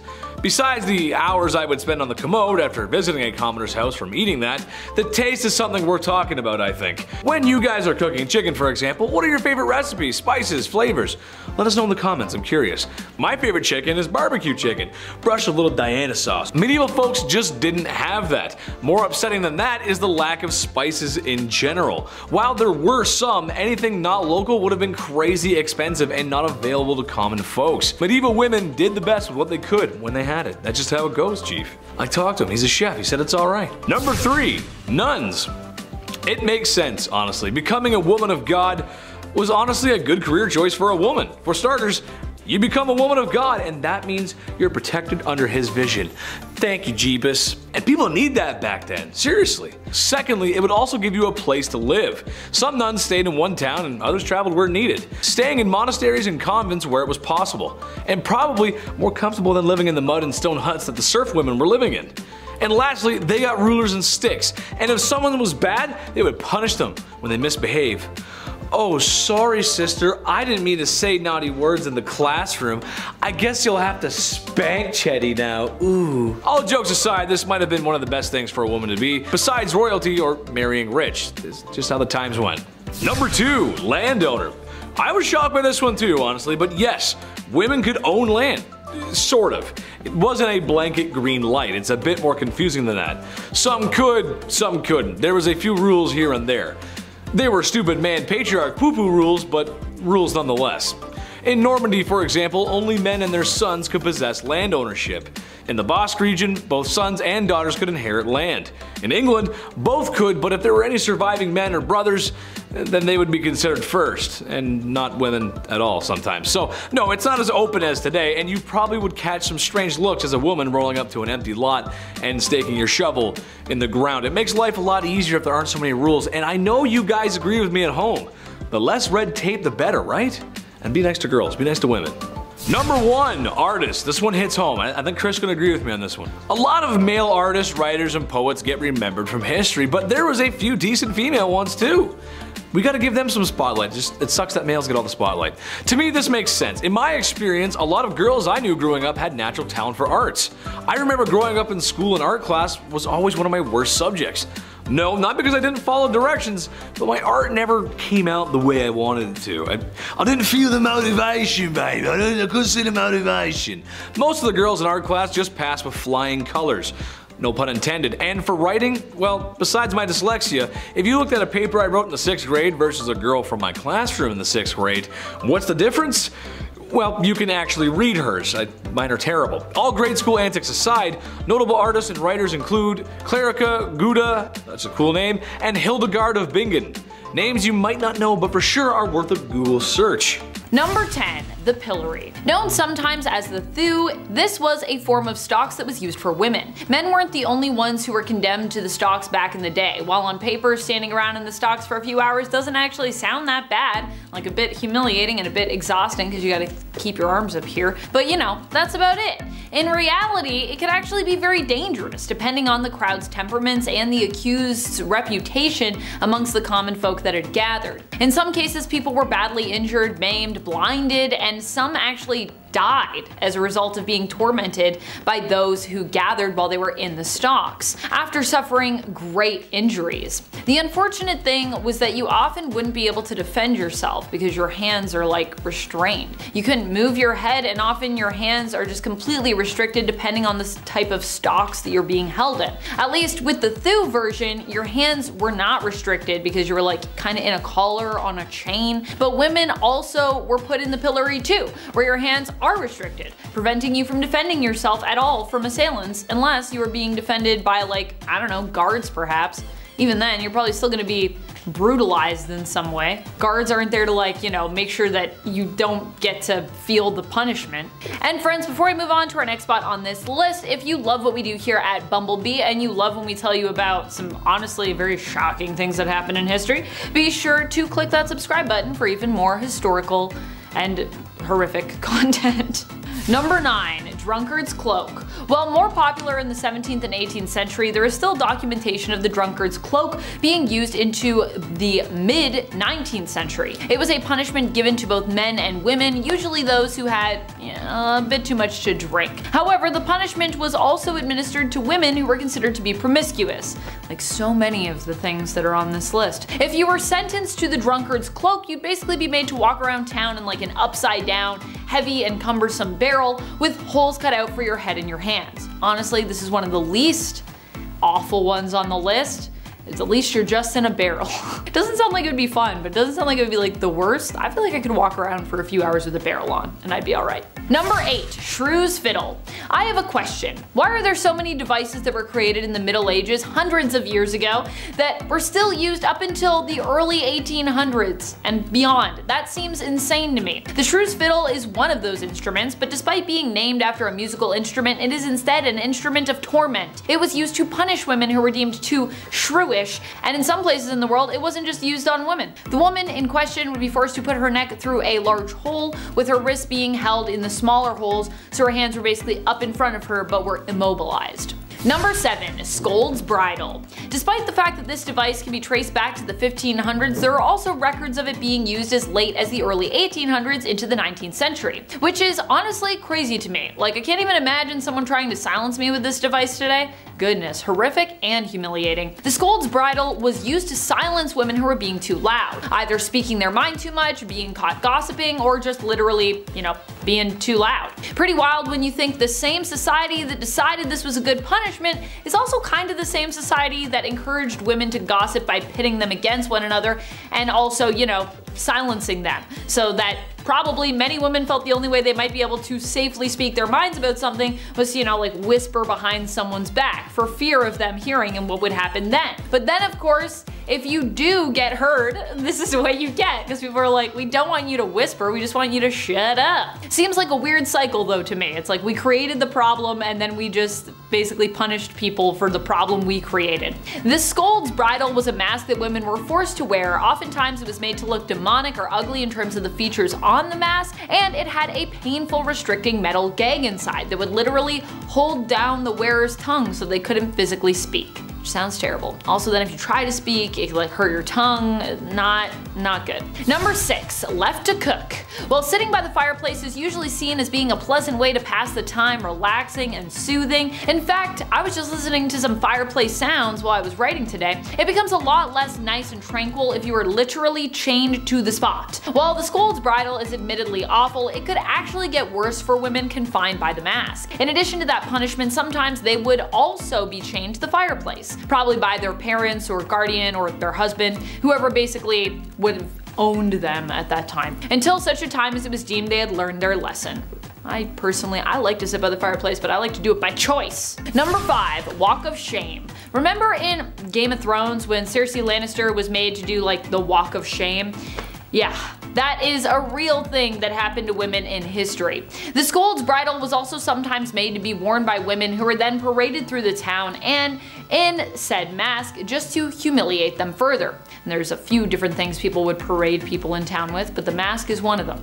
No, as if just being forced to wear that mask wasn't awful enough. I don't think you need to parade someone around or chain them to a fireplace. I think you can just like leave it at the mask to be honest. Your point would be made. In fact, I don't even think you need the mask at all. Just don't try to make a point to begin with and then we're all good. How about instead we just let women exist and be heard? Hmm? Just a thought from a woman who's living in 2023, ye old past. Talking to you, past, back there. Yikes. Number four, hand clamps. Honestly, this sounds like one of the most horrific and worst things I've heard of. It might not sound bad to people, but I don't know. I just imagined what this would be like and I was like, that's horrifying. This method of torment was popular during the feudal period of China. It was used all the way up till the 19th century. What did it involve? Forcing women to put their hands into a tool that would then squeeze the tip of their finger. Doesn't sound that bad when you're thinking of it on like the surface level, but, and in terms of like the surface area of your finger. But this pain was actually so bad because of the pressure that it would cause many to just pass out. But once you passed out, they would just splash some cold water on you and force you to stay awake so you could experience every single second of pain awake. It wasn't reserved for just the hands or fingers either. There were also tools like this used to apply pressure to the feet and the head even of suspected offenders. Yeah, this method of course wasn't even safe for people who were convicted of adultery, which honestly I don't even think you should torment people physically like this anyways or mentally even if they're guilty of it like let's just be adults and move on. It was used on both guilty and innocent folks. I am sure I'm 100% positive. All you had to do was be suspected of adultery for this brutal form of punishment to be administered. So you don't even need any I mean back then I don't even think people had proof. They were just like I have a feeling so do something terrible to this woman.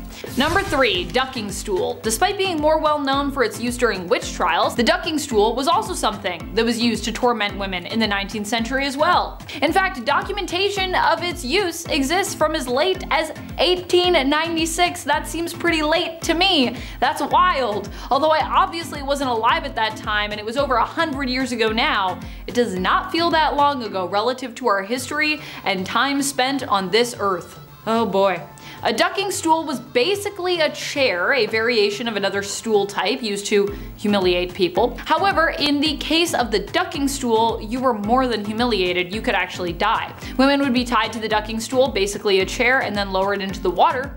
During the witch trials, this was one of the methods used to discern witches from innocent women. The problem being that witches would apparently survive the process thanks to their wily powers, whereas women would be proclaimed innocent if they could not float, swim, or survive this process, meaning that many that were then deemed innocent wouldn't survive the ducking process. So it seems like a flawed way to test that, you know what I mean? Like if someone's innocent, I feel like they shouldn't end up dead, but I don't know. Only the witches get to live, and even then they don't get to live. No one gets to live. Are you a woman? No life for you. Sorry. Just gotta move on. That's history for you.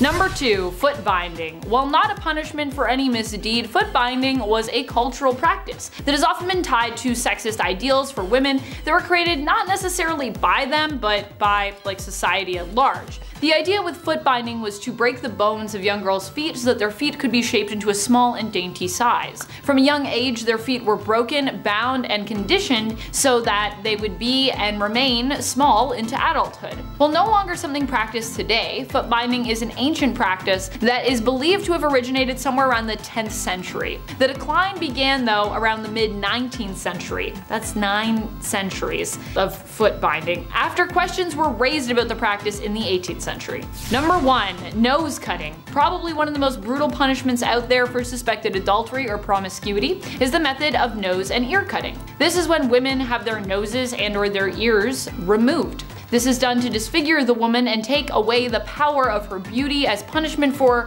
whatever misdeed she's accused of. In many cases, women have been punished in this way without even actually being proven to have done anything that is even deemed wrong by whatever moral code you're subscribing to by whatever whack moral code you are subscribing to. Some women have even been punished this way simply for defending or protecting themselves or others. Typically, nose cutting is reserved as a punishment for women. It happened not just in the 19th century, but before and even after that as well. Number 10. Thews or stocks. Gossiping now is always seen as a bothersome and terrible construct where rumors are spread and information is sent from one end to the room to the other, when in actuality the original history of gossiping was used as a survival tool since time. However, due to the trickling events that would occur in the 12th century to the 21st century, gossip has been accompanied by the dangerous stigmatization of women. And with that in mind, they would be accompanied with a crime of humiliation for gossiping by being locked up by the neck and left outside at the mercy of the mocking crowd. The thew was a type of pillory similar to stocks specifically for women, and the woman would be chained to a post by her neck as a punishment for her crime. Unlike men, her hands weren't tied up, and common crimes include annoying your neighbors by talking too much or consummating outside of marriage. As for example, one woman named Anne Morrow in 1777, she was accused of impersonating a man and marrying another woman. She was put in the pillory and an angry crowd stoned her in resulting of her being blind. Number 9. Iron cages. They really didn't like it when women gossiped, or in most cases talked back in the day, especially when she would speak up or just discuss things. But words can only help you unless you speak them, and it's disappointing when people fail to understand that. Women who nagged would have metal spikes forced into their mouths, and the scold bridle was an iron cage for a woman's face, used to punish scolds, women who nagged, gossiped, talked back, or just talked too much. The bridle would be locked onto your head, and the protruding piece of metal will cover in spikes would be forced inside your mouth, and every time you moved your tongue, the spikes would lacerate it. Sometimes the bridal woman would be chained to a hook by the fireplace in her home until she had learned her lesson, or she might be led through town wearing the mask to increase her humiliation. Number 8. Duck the Scold. Unfortunately, another form of torment and punishment for women being tied to a chair at the end of a long, maneuverable wooden arm and dipped into frigid water. The punishment wasn't designed to be fatal, although sometimes it was, but rather a humiliating spectacle aimed at discouraging whatever behavior participated in. There were various rituals for silencing women, as they have their roots in fear of women's speech and fear that women will attack other people in their community, that they gossip too much, that their voices were dangerous, and that they may, in extreme circumstances, also be witches. Though the women who ended up being on the ducking stool being accused of witchcraft, and the punishment, contrary to popular misconception, wasn't used to determine whether someone was a witch. A separate test, primarily known as the swimming witch, involved throwing a bound victim into a body of water to see if they'd float, a sure sign of guilt in the modern imagination. Subjects who sank were deemed innocent but could still wind up dead if they weren't rescued from the water in time. Few records about the women who were ducked survived. Much more information is available about the ducking stools themselves, their upkeep, about how they were kept into their construction. Number 7. Marking and tattooing. Although in some cultures tattooing isn't seen as a bad thing, but part of their heritage and even a source of pride. But in some cases they would use it as a means of marking an individual for their shame. Nathaniel Hawthorne, the Scarlet Letter famously marks its protagonist Hester Prynne with a red letter A for adultery for accusations about her behavior circulated. Hawthorne's book is more than fiction, as adulterers were really forced to mark their clothing to identify their crimes. Like Hester Prynne, A or the letters AD as outlined by a Plymouth colony law from 1658, adulterers seen publicly without their letters were subject to public whipping and even further humiliation and social alienation. But keep in mind, Hawthorne was the descendant of the judge Hathorne, who, pers who persecuted the lives of women who are accused of being witches, and he had such a disdain for his relative that he had changed his last name to distance himself from the relation of Hathorne from Hawthorne with a W. Number 6. Walk of Shame. Like in Game of Thrones, a pretty well known show, I don't know if you guys heard of it, I'm rewatching it again up to a certain specific season. But there was that scene where Cersei was condemned for her crimes and had that lady yell shame as she rung a bell while Cersei was left parading the streets stripped naked. This is actually based as a form of torment for women, and the Walk of Shame, also known as skimmington or rough music, was a traditional punishment for harlotry or being an overbearing wife. Women were made to walk barefoot through the town or city, sometimes dressed only in their petticoat.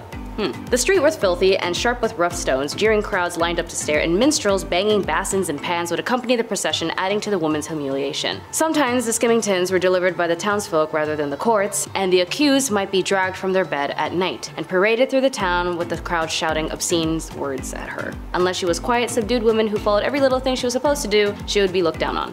Number 5. Status degradation. Status degradation still persists today, and it's been used as a formal punishment throughout history. Under the Roman Emperor Augustus, who reigned from 27 BCE to 14 CE, a woman guilty of adultery could lose several rights as a citizen and suffer a financial burden. Noble women in the Kingdom of Korea during the Choson dynasty faced a similar degradation of their social status if they were found guilty of adultery or if they just remarried. Adulteresses were stripped of many of their rights and privileges once they were demoted to low-born statuses, and the descendants of widows who remarried were barred from holding office. As serious as these punishments may seem, some high-status women who committed adultery in the Choson dynasty faced even graver punishment, which is death. Number 4 pricking and scratching. Another form of torment women had to endure as a type of punishment relates back towards one of the biggest torments women had to face during the witch trials. Witch hunting books and instruction pamphlets, yes, they had an IKEA manual on how to prick a witch, it noted that marks were insensitive to pain and they couldn't bleed. So they would make these specifically designed needles to repeatedly stab and prick at the accused flesh until they discovered a spot that produced their desired results. So basically they would just keep poking you with needles until there was an area on you that just didn't bleed. They even had a job position for this called professional prickers, which many of them would be con men using dulled needles points to identify fake witch marks. Alongside the pricking was the scratching where they would scratch the supposed victim, so if a victim scratches the accused witch with their fingernails and drew blood, and their symptoms of being possessed stopped, then somehow that person that they scratched was a witch. Number 3. Tar and Feathering. When I first heard about tar and feathering, it was in a cartoon where the characters would use tar and then feather the characters they wanted to make a fool out of. Tar and feathering originated as a punishment that dates back to Richard I of England. The practice of tarring and feathering was exported to the Americas, gaining popularity in the mid-18th century. Throughout the 1760s, it saw increased usages as a means of protesting the Townshend Revenue Act and those who sought to enforce it. For women, they'd also tar and feather as a form of embarrassment. In a news article in 1906, consisting of four young married women from the East Sandy, Pennsylvania, corrected the alleged evil conduct of their neighbor, Mrs. Hattie Lowry. Two women held Mrs. Lowry to the floor while the others two smeared her face with stove polish until it was completely covered and then poured thick molasses on her head and emptied the contents of a feather pillow over molasses. The women then marched the victim to a